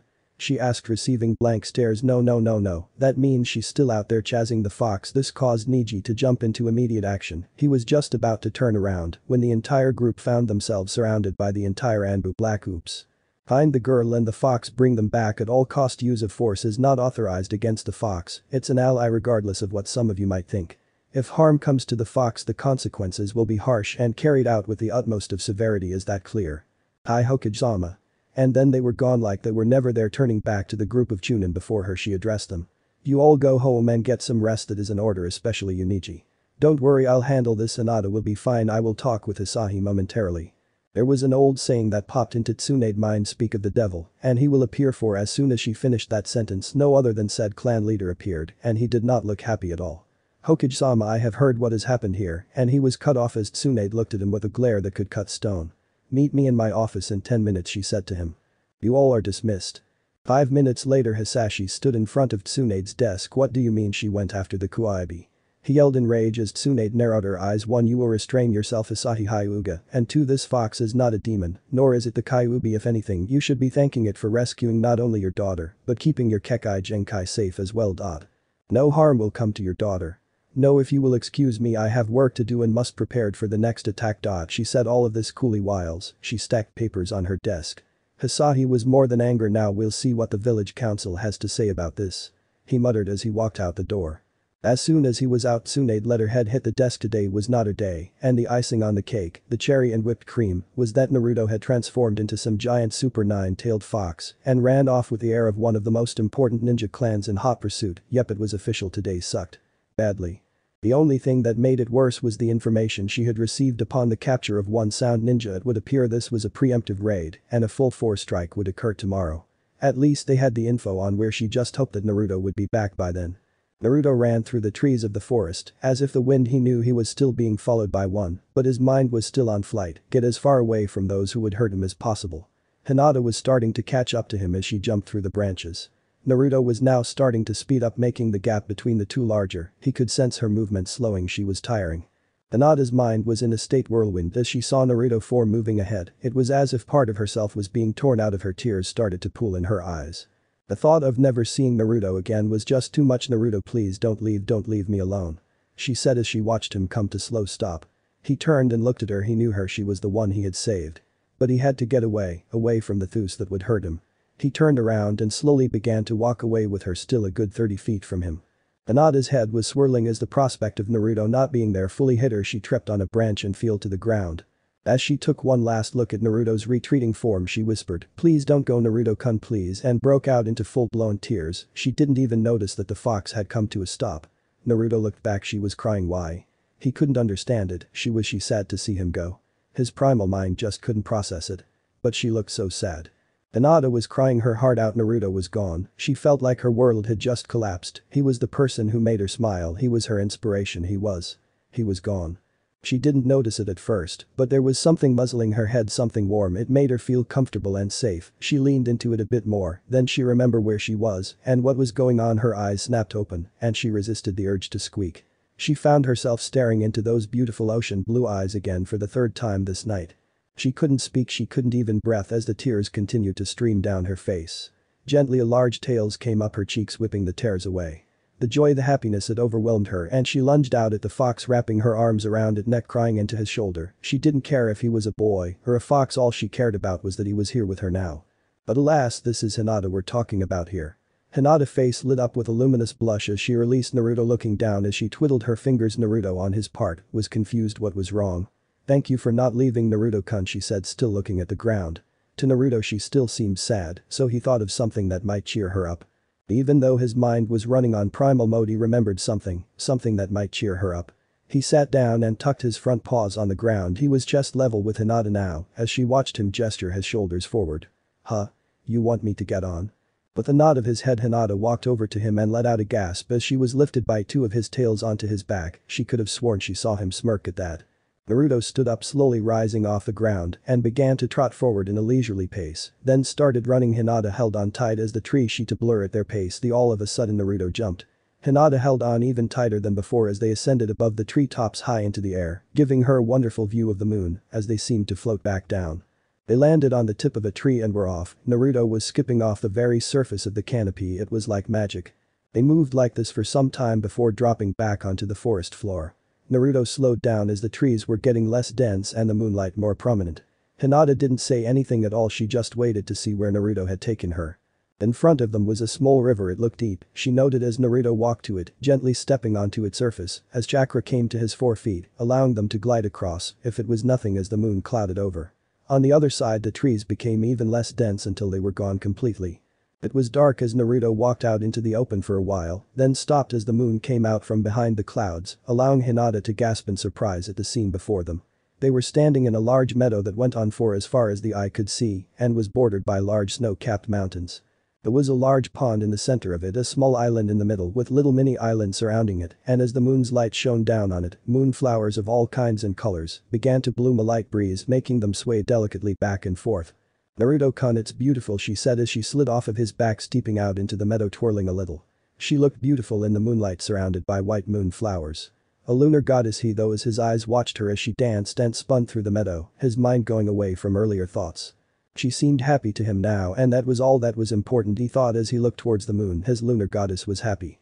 The moon was high in the sky as 15 blurs moved throughout the spiraling forest. Instantly they stopped as all came to a clearing. Why have you stopped pursuit Tashi? Asked one of the masked figures. It's this damn order I don't see why the Hokage want us not to kill this demon. I don't care if it's an order or not I kill it myself. He roared before a fist connected with his head and he found himself being pummeled into a tree. Ryoma stood over him as he looked up into his fierce eyes. How dare you? Jiraiya-sama and I owe our lives to that so-called demon as well as you and the rest of this squad. Ashi couldn't speak as Ryoma walked away, but not before making his point adamantly clear, if you lay a finger on Naruto, I'll kill you myself before Tsunade-sama gets the chance. With that he disappeared in the forest in a blur. As Tashi stood up he found himself the target of many glares. Unlike most other Anbu squads this one was an elite made up of veteran ninja, ninja, who knew the secrets of Konoha well, including those about Naruto. Q secret, Gardenbi Madoka. Hinata lay spiraled out in the meadow as a warm night zephyr blew across the fields, Naruto lay on his haunches not far away. This place was so peaceful here she had almost forgotten about her near-death experience only a few hours earlier, now replaced by this magical place Naruto had taken her to. Said Fox was enjoying the warm breeze as it ruffled his crimson fur and if Hinata had been closer, she would have heard the low rumbling that could have been mistaken for a purr. She turned to look at him noticing that for the first time she could remember he seemed totally at peace. It may have had something to do with being a fox or something, but the look on his face was not one of his goofy happiness, but one of utter peace and serenity. It was a part of Naruto she had never seen before. Well the whole transforming into a fox thing either, but this was different. This meadow was a special place for him a place where he could be at peace free from being a ninja, free from the harsh words of the villagers she had heard thrown at him, free from everything, and he had shared it with her. Her eyes widened in thought as she played it back in her mind again. This was his special place, a magical place of such peace and beauty that he alone knew about. And he had shared it with her. She felt a tear come to her eye as she felt her heart fill up with joy. He willingly brought her to his secret garden. Hinata wished this night would never end as another warm zephyr blew across them, she could stay here forever. Her eyes began to close as she let the warm breeze lull her into sleep. She was awoken sometime later by the soft nudging of her arm. When she opened her eyes she was greeted with those beautiful blue oceans that could only belong to Naruto. Hinata began to blush as she sat up and let out a yawn it was still night time, but the moon had gone from view, so it was probably about two or three hours till sunrise. As she stood up she noticed Naruto was crouching again his eyes looking at her causing yet another blush to rise to her feature as she interpreted the gesture, it was time to go and he wanted her to get on. As she stepped up to him she stifled another squeak as she felt two tails wrap around her waist, picking her up off the ground and placing her on his back, blushing all the way. Even if Naruto-kun has transformed into a giant fox, I still can't find my vice when he's around. Once on and stable Naruto rose to stand height and began move towards the forest in a leisurely trot. Hinata turned back to get one last look at the beautiful scene. She felt sad at the prospect of leaving, Naruto who picked up on this feeling swiveled his head to look back at Hinata.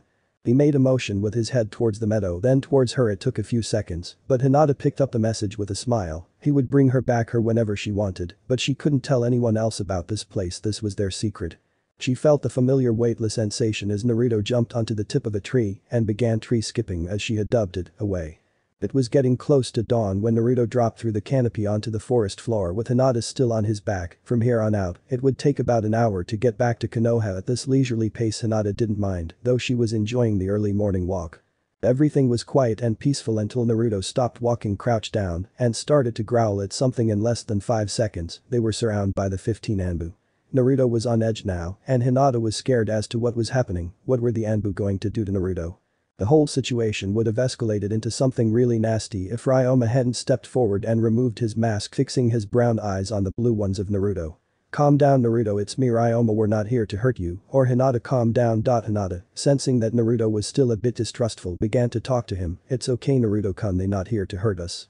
But that said Naruto began to cease his growling calming down, much to the surprise of the other Anbu. Now that that all was out of the way Ryoma got back to business Naruto and Hinata, we were sent to escort you to the Hokage's tower, so if you will follow us now.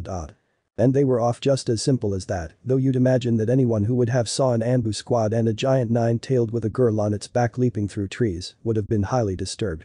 They had just reached the village border when Naruto stopped running and came to a complete halt. Naturally this caused everyone to stop.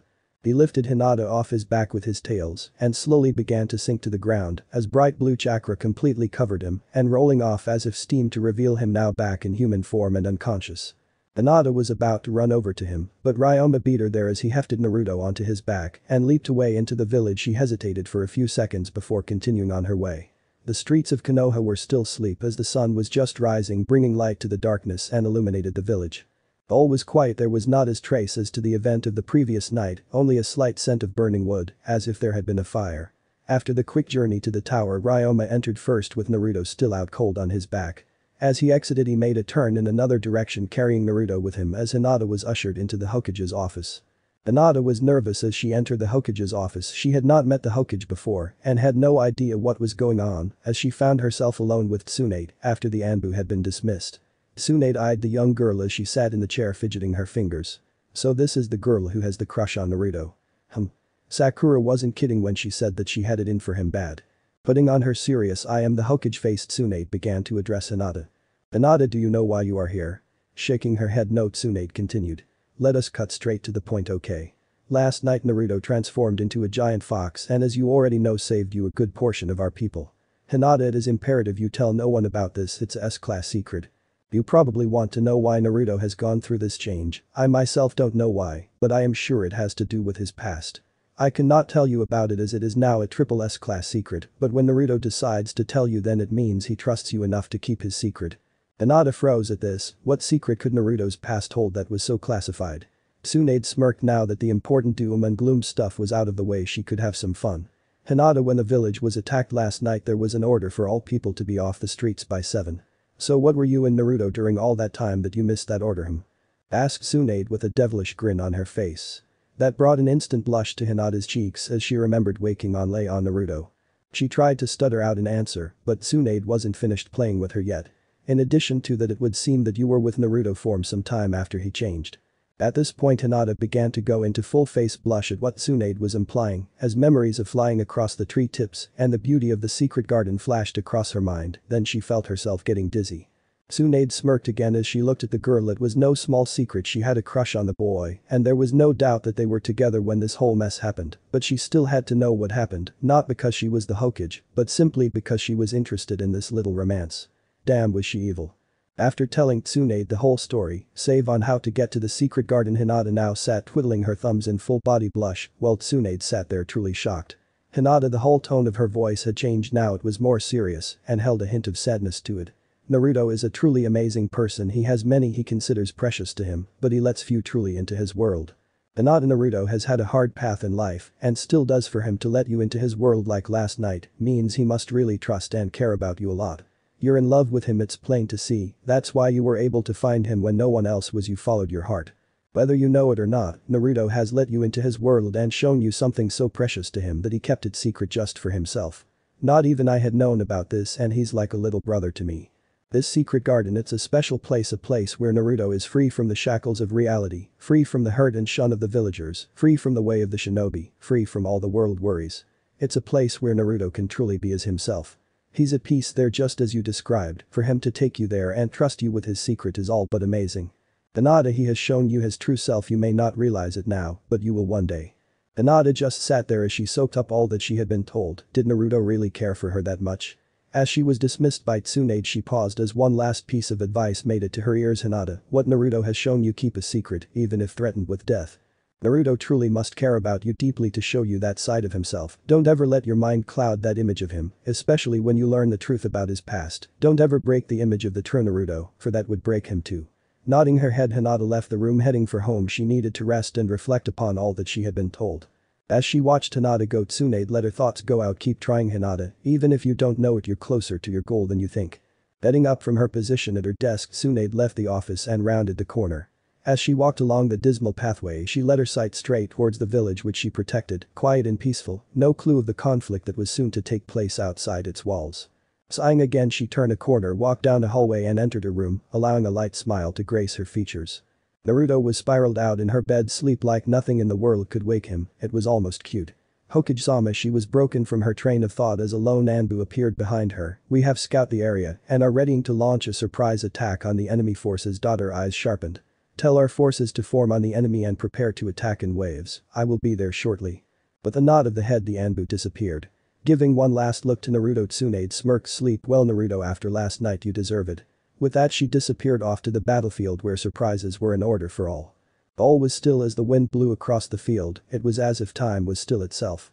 Tsunade did not like the situation at all they had met up the enemy forces, but in doing so they had forced both sides into an undesirable battle area. The field in which they stood was wide and open no cover, except for the few boulders, small mountains and cliffs in the background. To make matters worse they were at a standstill. While they had managed to sneak up on the enemy any attack would alert them to their presence and make this a very long and drawn-out battle. Now it was a waiting game to see who would attack first. On the bad side they were outnumbered 100 to 200, but all that soon would not matter, because on the good side two young men were making their way, thought the ranks talking rather loudly. I'll take the ones on the left you take the ones on the right Lee dot said the one who was slightly taller by a few inches. He was clad in traditional ninja garb and footwear sword on his back, along with some sort of baton, around his waist was a black belt with many pockets and another baton this one shorter. His entire outfit was black save for his vest which was also in traditional ancient style, and part of his mask which were blue, think Sub-Zero. On his back there was a white symbol that resembled a bird in flight, but only the head with a red eye and part of the wings were visible, this symbol was also viable on the left side of his vest in the front. His plain grey scarf came halfway down his back and his deep blue eyes shone like the ocean itself as a single scar down his left cheek was the only thong that marred his no doubt handsome face, overall he looked to be about 18 and stood about 6'0. Works for me Kai said his campion who was clad in a. It was no doubt he was a samurai for around his waist he wore the daisho, lit. Big and small. He was clad in a light green bodysuit that separated at the waist with a black belt where his swords were attached with the addition of a large steel kunai with a hole in the center attached to a chain on his left hip, think scorpion spear from MK Deadly Alliance.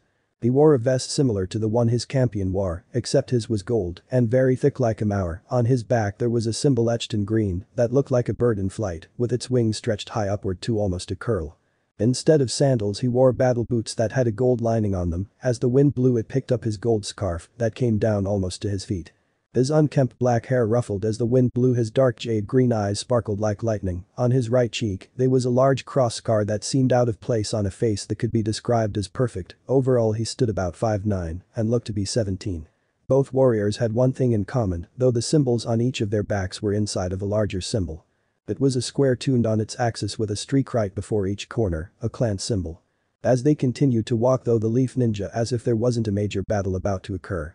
Thought their actions caused most of the younger ninja to question their sanity, those that were older began wiping their eyes to see if they were dreaming, some going so far as to make kai signs with their hands to make sure this was not a genjutsu.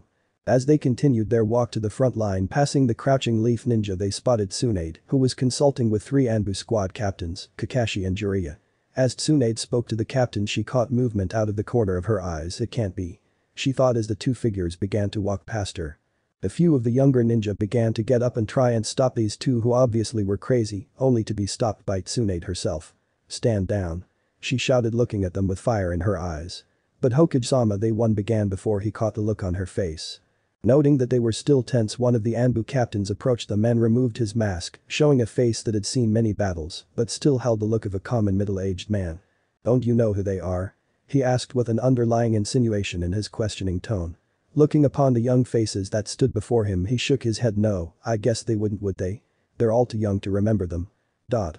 As the two figures walked out into the open field of view of the sound ninja Tsunade spoke up, they are the ones of legend a ninja that transcends space and time, and the samurai that bridges the Tarth and Heaven's Gate. Kai Kasu and Lee Kasu the Arameto Hitokiri. Tsunade said as she began recounting an ancient legend. Long ago when demons still walked the earth freely and wars were commonplace among the lands there existed two warriors descended from celestial blood whose power was so great that they were feared across the land. The dragon in the form a swordsman of such strength that the world itself trembled whenever he wielded his sword, so great was his power that he was said to bridge the heaven's gate to earth with his power. His brother Wolf who took the form of a ninja, possessed such power that he part the very fabric of time and transcend space at his whim. Each able to slay an army of 10,000 with a single attack, their eyes glowed like the very creature they were, their wrath and darkness to be feared by all. With their power they helped to bring about an end to the days of demon terror and war, foraging the five strong nations' new future bring about a new era in peace. A.N. I'll provide all history on them later. Now the two stood before them about to let all those around glimpse their legendary power firsthand. Those poor sound ninja. Who at the moment were attacking into waves of 100 from either side. Their plan had been simple they outnumbered the enemy and attacking from both sides to wear down their defense while using the natural cover provided by the field seemed to be a good plan. If only those two kids hadn't given away their position the enemy might have had a chance. I held his arm straight out to the left, he decided to trim their numbers a bit just so they'd know what they were up against. In an instant the level of chakra he was putting out without any effort caused both sides to focus their eyes upon him. You could see the chakra pouring into his arm the light of it was almost blinding, to accumulate that much chakra was utterly jaw-dropping even a Kage couldn't call up that much chakra and make it look so effortless. The killer intent that he radiated was so intense it made some of the leaf ninja lose their stomachs. As the chakra began to form a ball in his left hand, he turned his eye towards the sound ninja. Hunter Wolf Jutsu he yelled thrusting the ball of chakra forward, where it took on the shape of a huge wolf snarling and growling as it tore its way across the ground toward the sound fleet, where upon impact it tore through 15, and when it exploded, it took out 65, not to mention the mountain. Behind them. Don't you think that was a bit overkill Kai? Asked Lee as he surveyed the damage then at that exact moment caught a kunai intended for the back of his head without looking as the large explosive tag went off. Boom. As the smoke cleared Lee stood there unscathed and unfazed. Suddenly he was pulsating with a strange force that wiped the chakra form the surrounding area. Dissolving it away. On second thought. He whipped around raised sword above his head and brought it down, issuing forth a mountainous crescent arc of wide energy that speed towards the second company, utterly decimating all but 20 of them as well leaving a very deep crescent-shaped gorge in the ground. Oh, and some mountain rubble. Now what was that you were saying about overkill? asked Kai. Upon witnessing the utter destruction of the enemy force, Juri almost fell face first to the ground. All those years and they're still just as powerful as before. Now if you were a sound ninja you were a scared shitless and wanted to retreat. Be wondering what the bloody blue hell hit you. C dead. Or for the really stupid ones D. Preparing to attack thinking you enemy used all their energy with those two attacks. AN. Hum I wonder which they are. Cough D. Cough. Grossly outnumbered and faced with the possibility of death the remaining sound ninja had to make a choice retreat and face Orochimaru or face death at the hands of the legendary Hitokiri and Konoha ninja. It was an easy choice to make. They ran headlong to their deaths. Upon reaching 100 yards of the two warriors the first two came to a stop. They eyed the two warriors over a bit smiling as they did so. So you two are the legendary Hitokiri eh? The strongest in the world. Well this will give yous the chance to test our power against you. These two were obviously the strongest out of the bunch because they began to draw up an ungodly amount of chakra vibrating as they did so and then they disappeared. The ground around Kai shook with explosions, but he had already moved only to be caught in the next explosion, Lee just stood there eyes glued forward. So they're using a new type of battle side eh? Well it pretty strong as Rigwaller standards go, but it STLL pales in comparison to us as thought the smoke cleared Kai was revealed to be fine without a scratch on him as the two sound ninja appeared about 30 feet in front of Lee. So how do you like our supersonic speed jutsu? It's so fast not even the famed Arameto Hitokiri can keep up with us. Lee just smirk you young hotshots are always such fools. Sure you were moving fast alright, but you haven't even thought your plan through you're just showing off you power. You have no sense of honor you're only gala to attain power, and that will be your downfall. Oh and just in case you wanted to now you're actually pretty slow. He said as if it was the plainest thing in the world, which in turn greatly pissed off said young hotshots. They disappeared again now their target was Lee who was still standing still as a statue eyes glued forward as they ran around him in all directions. They circled him about six times before finally coming to a conclusion. He's used up so much energy he can't even move. The legendary samurai is about to fall at our hands, I never expected him to be so weak that after one attack, he'd just stand there. He can't even see us we move so fast. Our supersonic speed surpasses that of even legend truly we are ek. It happened so fast no one save Kai saw it, without moving an inch or batting an eye, Lee's arms shot out to each of his sides at different angles, each hand firmly grasping a ninja neck lifting, said ninja up in the air. At that moment any sound ninja with hope in their mind was brought harshly back to reality, this was the Arameto Hitokiri they were up against. Lee shook his head as he tightened his grip around the neck of his captive in his left hand which effectively snapped his neck, whereupon death he flung him like a wet rag at least 30 feet through the air. Then he brought his gaze to his other captives, eyes who upon seeing his eyes, wish it had been him that had died. Lee's unusual green eyes were now a light orange and slightly glowing. It was a terrifying sight. It was like looking into your death. Into a dragon's eyes. There was no murderous intent as there was this his brother, but something else was there coupled with those horrifying eyes. It was like you were facing a force you could never even hope to beat, and you knew it. Everything fiber of his being and his mind was screaming at him to run, but he couldn't move. Jiraiya, Tsunade and all the other ninjas could feel this power, and it was scary. And what's more it was dissolving their chakra. One of the Anbu next to Tsunade had taken off his mask and was in cold sweat. Hokage-sama what in the name of Kami is this force, I've never felt such. Such. I can't even describe it. Tsunade paused for a few seconds. It's Sakai, samurai spirit. There are many samurai around the ninja nations, but there aren't many true samurai, so it's natural that you haven't experienced this force yet. Samurai unlike ninja do not use chakra they use the energy of the soul. To try and define the samurai spirit is impossible for a ninja, but it is given the same term for soul energy, but is an entirely different thing altogether. I've experienced it before but this but never on this level before. AN. I will go into detail later. You made four crucial mistakes in this fight. Your first was assuming what you didn't know and revealing your jutsu. Second using your jutsu at the beginning of battle. A jutsu like that burns through chakra like a fire through paper. Third you got cocky.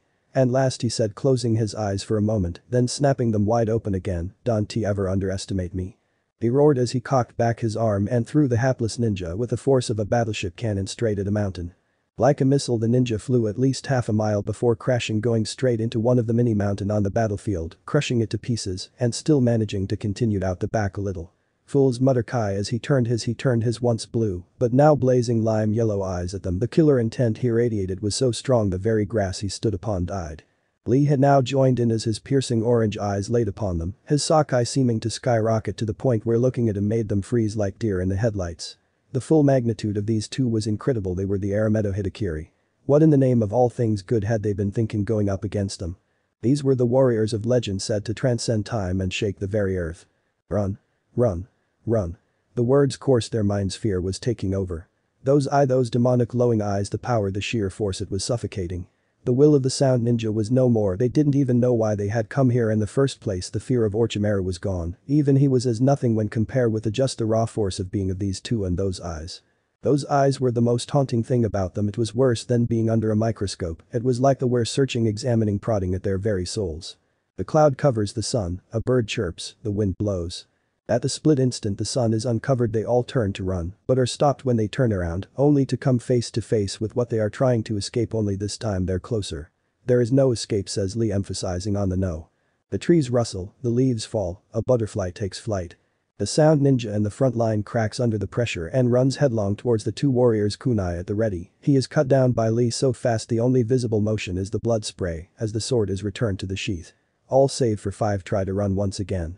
I pulled out his blue baton off his back as it lengthens into a bow staff Lee draws his sword in mere seconds they are all dead.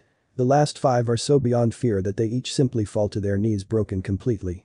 As Kai walked up to them his eye began to revert back to their normal blue Lees having gone back to their normal but unusual shade of green as the imposing force dissipates.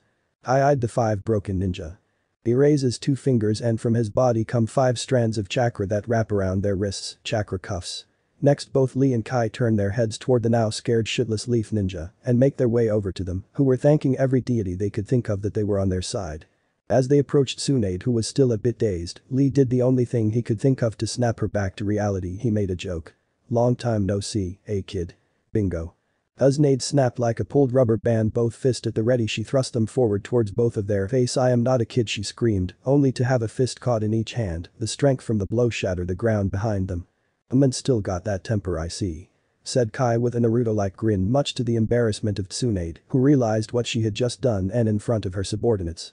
She lit up with such a blush it could have made Hinata proud. Said subordinates tried to hold back the laughter as snickers and stifled laughs could be heard quite clearly. They were doing better than Jiraiya who had fallen to the ground and was rolling in pain from laughing so hard.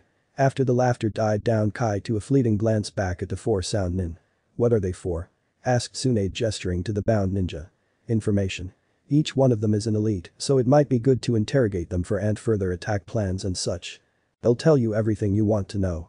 Oh and take the forehead protectors after this, they will never have the will to fight ever again.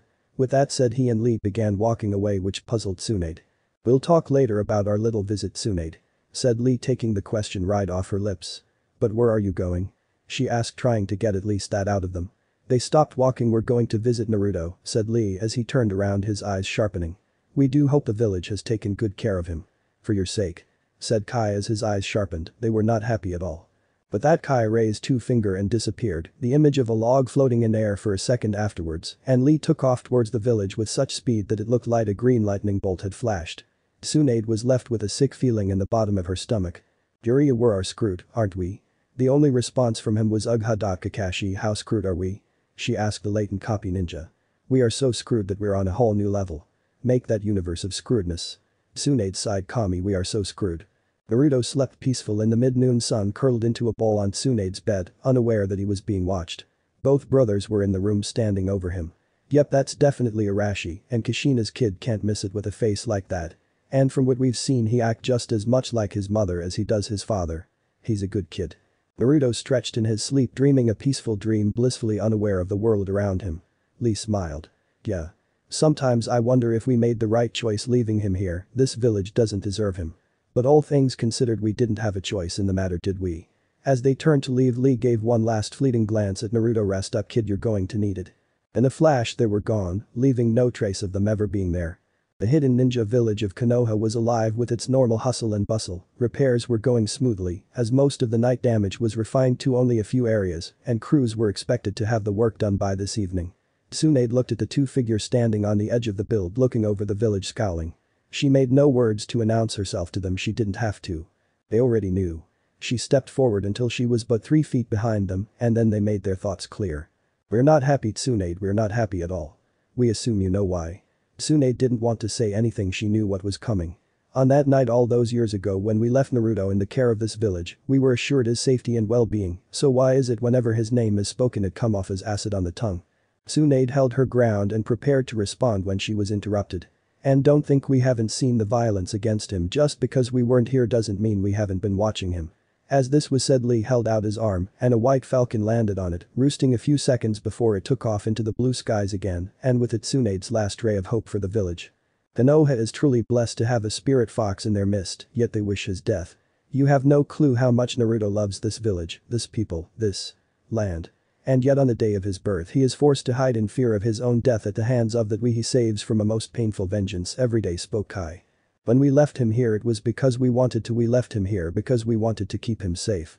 Our homeland has been at war for the last 20 years Tsunade. Naruto's clan and ours have had a bond that stretches over a thousand years, he and his entire family were as such to us. Family. And it is only natural we shared many of the same enemies. Enemies who want nothing more to see the last heir of the Uzumaki clan dead. With the country in constant battle areas of peace are few and far between and we couldn't be sure if we could protect him all the time. When the Kyuubi attacked and was sealed into his stomach, we weren't sure what to do, but Arashi in his dying words convinced us that Naruto would be alright if we left him here. If we had had any clue of what his life would have been like we would have never left him here. If Arashi were alive he would have destroyed Konoha himself after witnessing the treatment of his son, let alone what Kushina would do if they both were here. Hell the only reason we haven't is because of Naruto, he is the only thing that is keeping this village from destruction at our hands. Tsunade's eyes widened and her breath was caught in her throat while the two finished. Naruto is very special. He wishes to protect this village these people, even after what he has been through he truly has a kind heart and we're glad that there are some who can see that.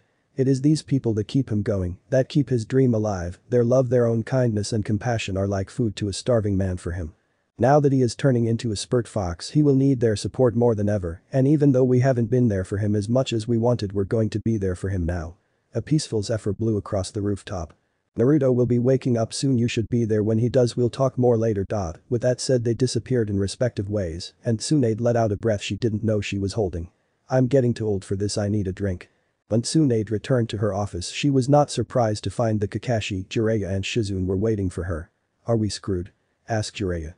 Nope, just barley though remind me to never ever in the name of all the is sweet and heavenly to take Naruto for granted because he is the only thing that saved us. Said Tsunade as she pulled a bottle of sake out from nowhere. Where did she get that? Thought everyone as they watched her go to work on the bottle. Unfortunately I didn't learn anything else, but they said they'll talk more with me later, so I guess until then you all can relax. With that matter cleared Kakashi nodded his head and disappeared in a poof of smoke while Jiraiya went out his usual way. The window. I'd wish he would just use the door like a normal person or poof away like Kakashi, but no oh, he has to jump out the window. Thought Tsunade laying her head on the desk. Naruto felt the sun tickle his face with its warm caress lulling him gently out of his sleep. Wake up kid. Then he heard the voice of that damned fox telling him to get up. He stretched his arms high above his head yawning and unintentionally taking in the scent of the room he was in. M slugs, document papers, pig and sake. With that he opened his eyes and looked around. Where am I? Dot. He said to none in particular as he looked around the room taking in more of the scent that was all around him it smelled. Bachan's room he said all he realized where he was. Still in his morning fog he got and stated walking towards the bathroom to perform his morning habit. After exiting he was noticing that he was feeling kinda strange and stopped in front of Tsunade's large body-length mirror to look himself over. I feel fine I guess. Heads here arms here legs here. Everything looks alright ears are fine. He said feeling his ear twitch a bit. Reaching behind he took a few seconds to study his back. Yup everything's here, tail's fine. Dotty stopped cold. Wait tail. I don't have AIII. Tsunade heard the scream spit out her and almost fell over her desk, trying to get the door, as she and Shizune not mention Jiraiya and Kakashi bolted down the hallway at speeds which would rival most NASCARs. Boom. In less than 3 seconds Tsunade had broken down the door with fists bared, Kakashi had Sharingan uncovered with Raikiri, lightning blade in hand, Jiraiya had entered Sage mode, ready to unleash some kind of hellish jutsu, and Shizune had needles at the ready. Quickly sensing that there was no threat they dropped from the attack poses and looked around the room for the source of the noise mainly Naruto. Everything looked normal except for the large lump emanating from Tsunade's bed. Tsunade made her way over to said lump and poked it a couple time, and once confirming that the lump i.e. Naruto was alive, she began to ask questions. Naruto what's wrong why did you scream? And why are you hiding under the covers like a little kid?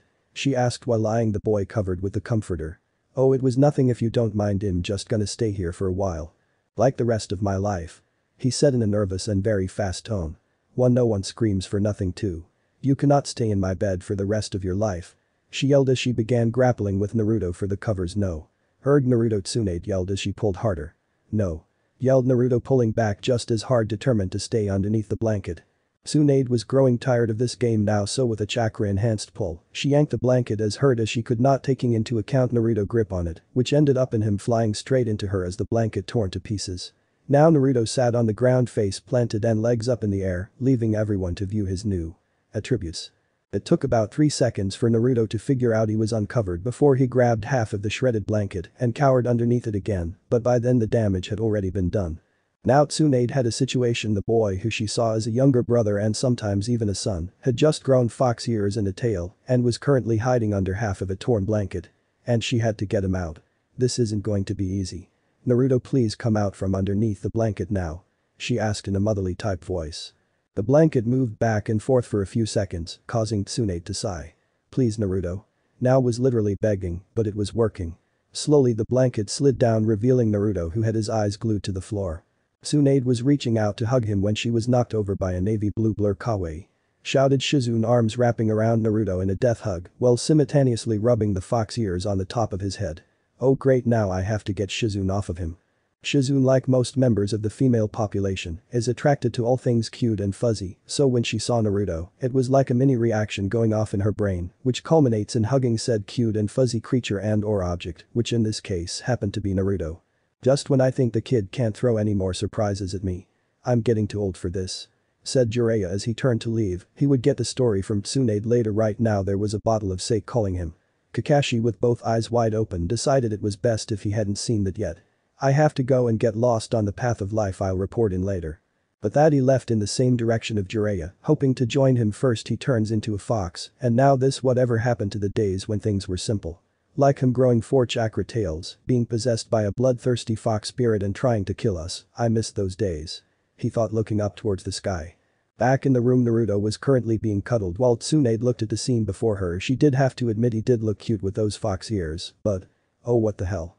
Now Naruto was being cuddled by not one but two women who he was starting to question the sanity of. The tails and ears are Lady Magna Kit. After about two minutes of cuddling, three more for Shizune, Naruto was now standing in front of Tsunade, who was looking at him from head to toe. She went as looked at the two ears on top of his head twitch, they were both fox ears, and they were the same when he had transformed they didn't look anything like the Kyuubi's just normal red fox ears, and a somewhat large bushy red tail yup nothing strange about that. Well you don't look that bad. She said casually noticing the look Naruto gave her oops.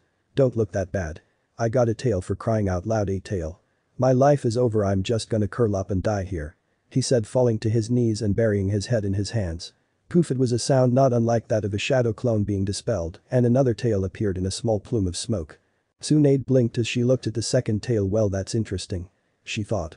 Please tell me that's not what I think it is. Asked Naruto from his position on the floor. It's. Another tail. Said Shizune as she looked at the tail slowly swishing. The yell could be heard even outside. After about 30 minutes of claiming Naruto down and another hour of formulating a plan upon hearing the story that Naruto had told them. Oh and realizing Naruto couldn't stay up here forever Tsunade had given Naruto his privileges. Okay Naruto until we can get things straightened out we can't risk having you outside for that long. You'll have to cover your ears and your tails, which if I'm right you'll be getting 7 more of before the day is over. Also I don't recommend doing any training at least not for now anyway. Oh and one more thing no missions for a while. Surprisingly there was no protest from the blonde in question as he still had his eyes locked to the floor, a look of sadness glued upon his face. The tense mood was broken when Naruto's stomach announced its presence by grumbling. Quite loud actually. Tsunade smiled as she laid a hand on the blushing blonde's shoulder. Why don't you go get something to eat but remember not to stay out too long okay?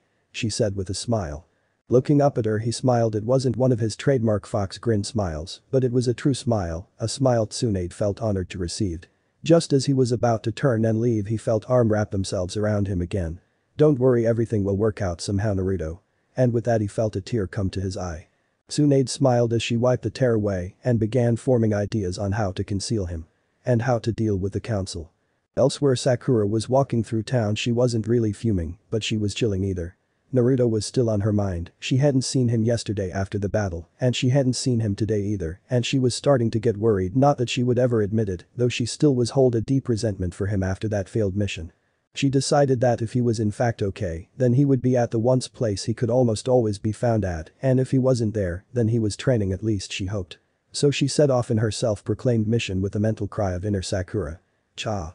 Hinata had awoken earlier that morning and after being interrogated by her father for three hours, thought it best if she spend some time out of the house.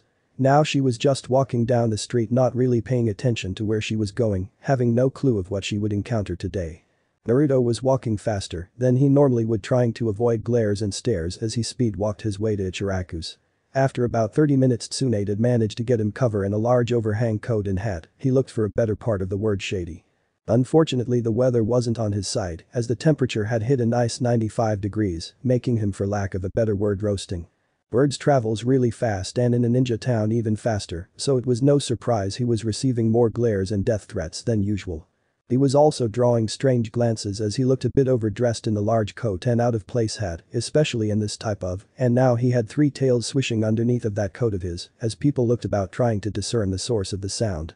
Oh you'll be fine she says, it isn't that strange she says hump she's not the one growing tails. In record time he had made it the ramen shop and was ordering. Strangely he was asked no question about his odd choice of clothing by the old man or Ayame, but they had already been briefed by Tsunade and knew what the situation was.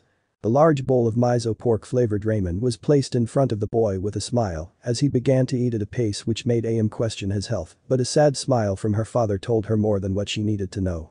You didn't need to look to see that Naruto was down you could just feel it, she wanted to give the poor boy a hug and probably would have if another customer had just walked up.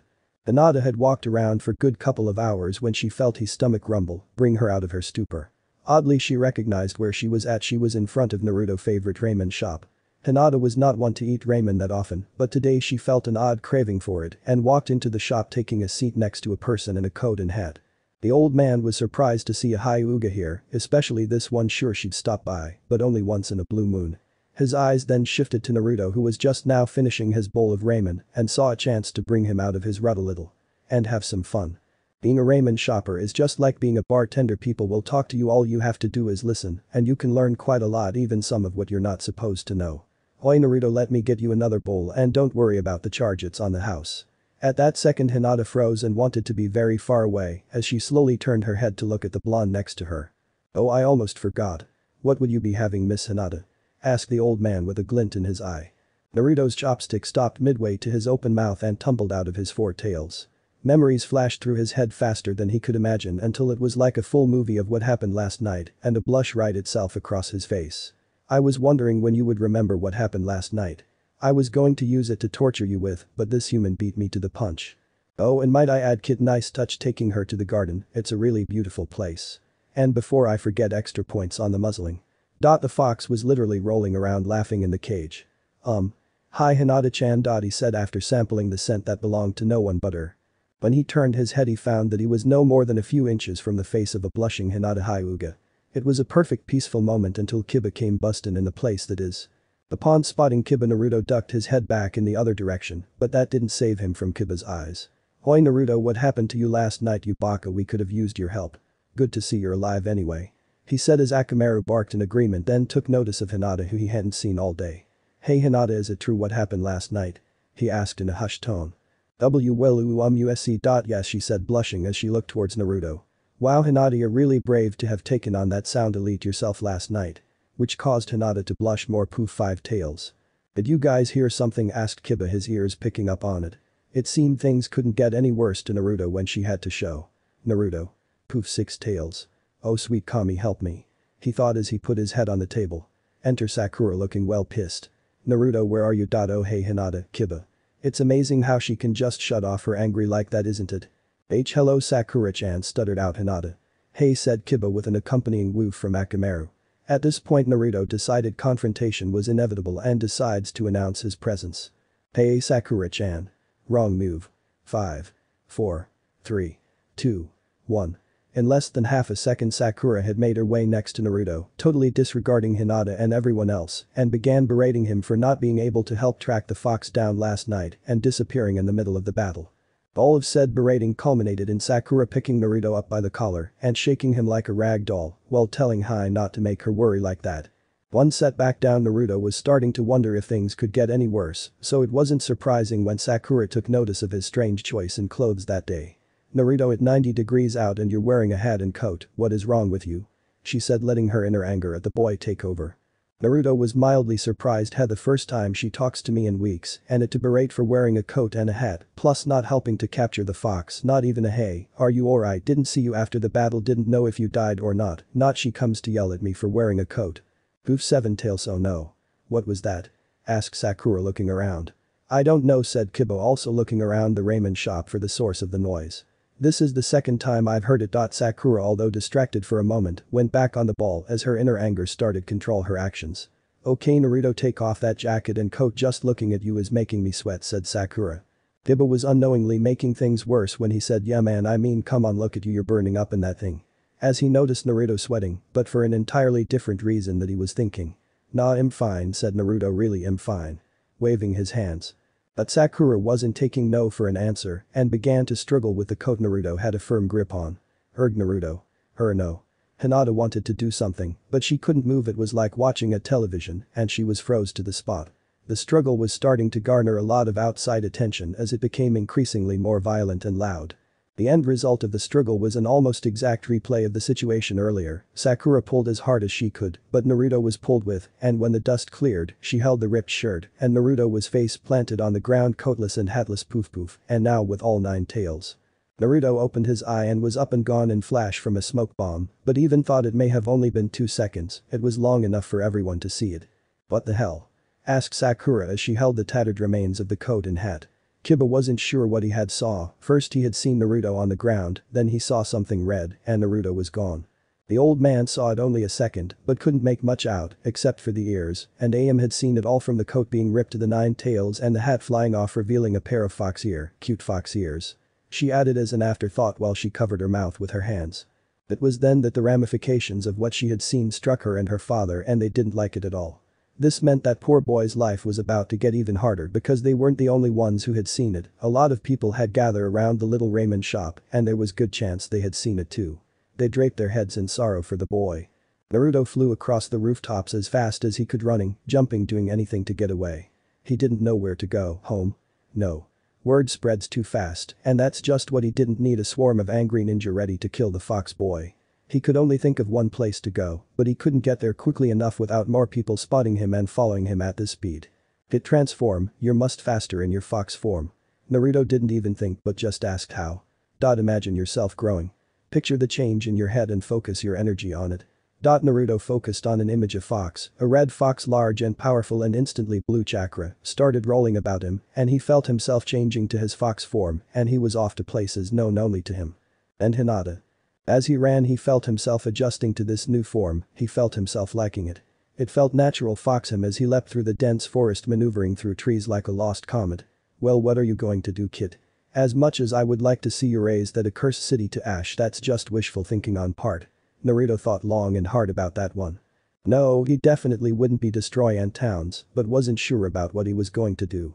He could run away and not look back, but something didn't feel right about that it was like he was forgetting something. Please Naruto don't leave me alone. Dot. The voice rung clear in his head it was Hinata's. Don't worry everything will work out soon Tsunades.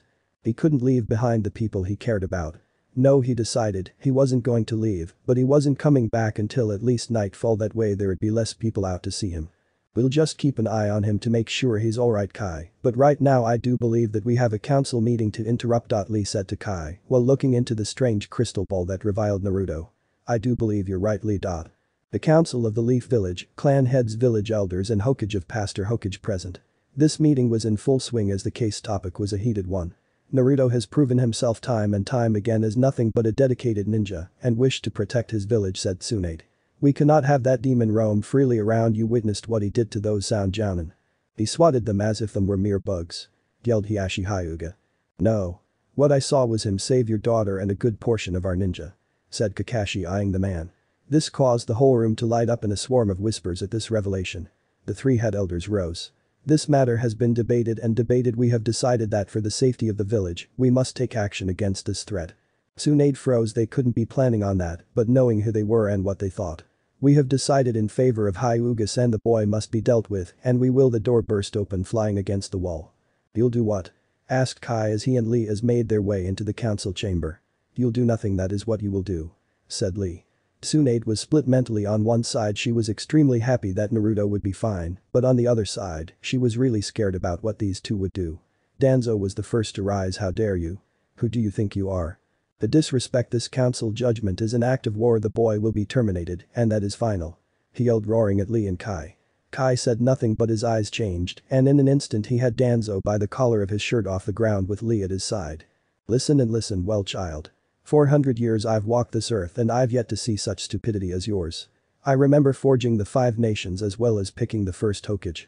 Lee spoke up next 250 years old and I've yet to hear a stupider question than what you just asked.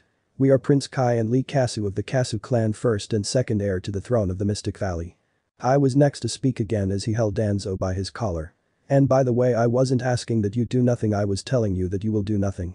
With that he set the man down as Lee held up his hand as a rather old and tattered scroll appeared out of thin air and began to unravel itself. This is a contract that has been in our family for over a thousand years. And it clearly states our intent. Said Lee as he pointed and the scroll flew to Tsunade. Now if you would read the scroll please. Tsunade looked at the ancient document eyes bugging out at what it implied so with hands shaking, she began reading the ancient text. This document is proof thereby representing that both parties are in equal agreements with the terms which are as followed. This contract is established on the basis that all members and future heirs of the Uzumaki clan and blood right are hereby protected and exhumed as a non-blood right branch family of the Imperial Kasu clan and fall under its protection. As such members will be protected in times of need by said royal family and heirs so on and so forth as is able. Infraction against the Uzumaki clan unless by just cause will result in severe consequences as it is pertained as infraction against the royal family.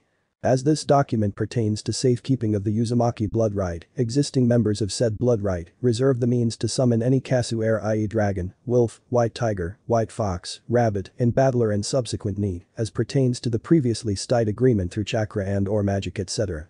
This contract's agreement is not nullified or rendered void of the existing secular contract between the Uzumaki and their spirit fox companions, yet encompasses them as members non-blood right branch family and protect by the previously cited agreement as pertains so on and so forth. Such as the agreement has been ascertained this contract is rendered effective as signed head of the Kasu clan, 10th Emperor Masahari Kasu, head of the Uzumaki clan Namikaze Uzumaki of the Mystic Valley. Tsunade sat down as she finished her throat feeling dry well smiled at the council. The rest of the council was quiet as Lee and Kai addressed them, do you really want to go to war against the Mystic Valley? They asked with a smile. Dot didn't think so. Naruto Uzumaki and any spirit fox affiliated with his family are under our protection make sure that is spread well across this village, because if we even think that something is being down to hurt Naruto. May heaven help whoever. Dot. But that they turned to talk to Tsunade but was stopped by Danzo. You. You can't do this. How can you protect a demon? The child. That demon is the pure essence of evil. Dottie yelled at their retreating forms. They said nothing but chanted something and gestured to the middle of the room with their hands and a pool of what could only be described as liquid light rose from the floor and formed a sphere which was viewing Naruto as he lay on his back in fox form, wriggling back like a dog on a soft bed of grass feet in the air. It was quite hilarious actually. Oh yeah that's the pure essence of evil alright we better hide in case he decides to chase butterflies. Said Lee watching the globe. With that both princes turned to leave. Bit your tongue Hyuga said Kai catching Hiyashi's discontent before it left his mouth as they walked out the broken door. Naruto had spent about three hours in the garden just relaxing and thinking. Henge. Transformation poof as the smoke cleared he looked down at himself. Darn it. Almost had it. He yelled looking at the solitary tail that swayed behind him. After about five more tries and four more curses, Naruto had finally managed to hide his fox features and decided to set off for home, but not before taking one last glance at the garden. The full moon would be here soon and the moonflowers would be blooming. It had been a long long long day for Tsunade and she was ready to go home and go to bed, but as she entered her room, she came face to face with a sight that made her want to laugh. Apparently Shizune had taken a liking to cuddling Naruto as said boy was once again being cuddled. Shizune stopped her cuddling for a few seconds to look at Tsunade and blushed. I couldn't help it. She said meekly as she rubbed Naruto behind the ear who found it strangely enjoyable. Tsunade just put her head to her head.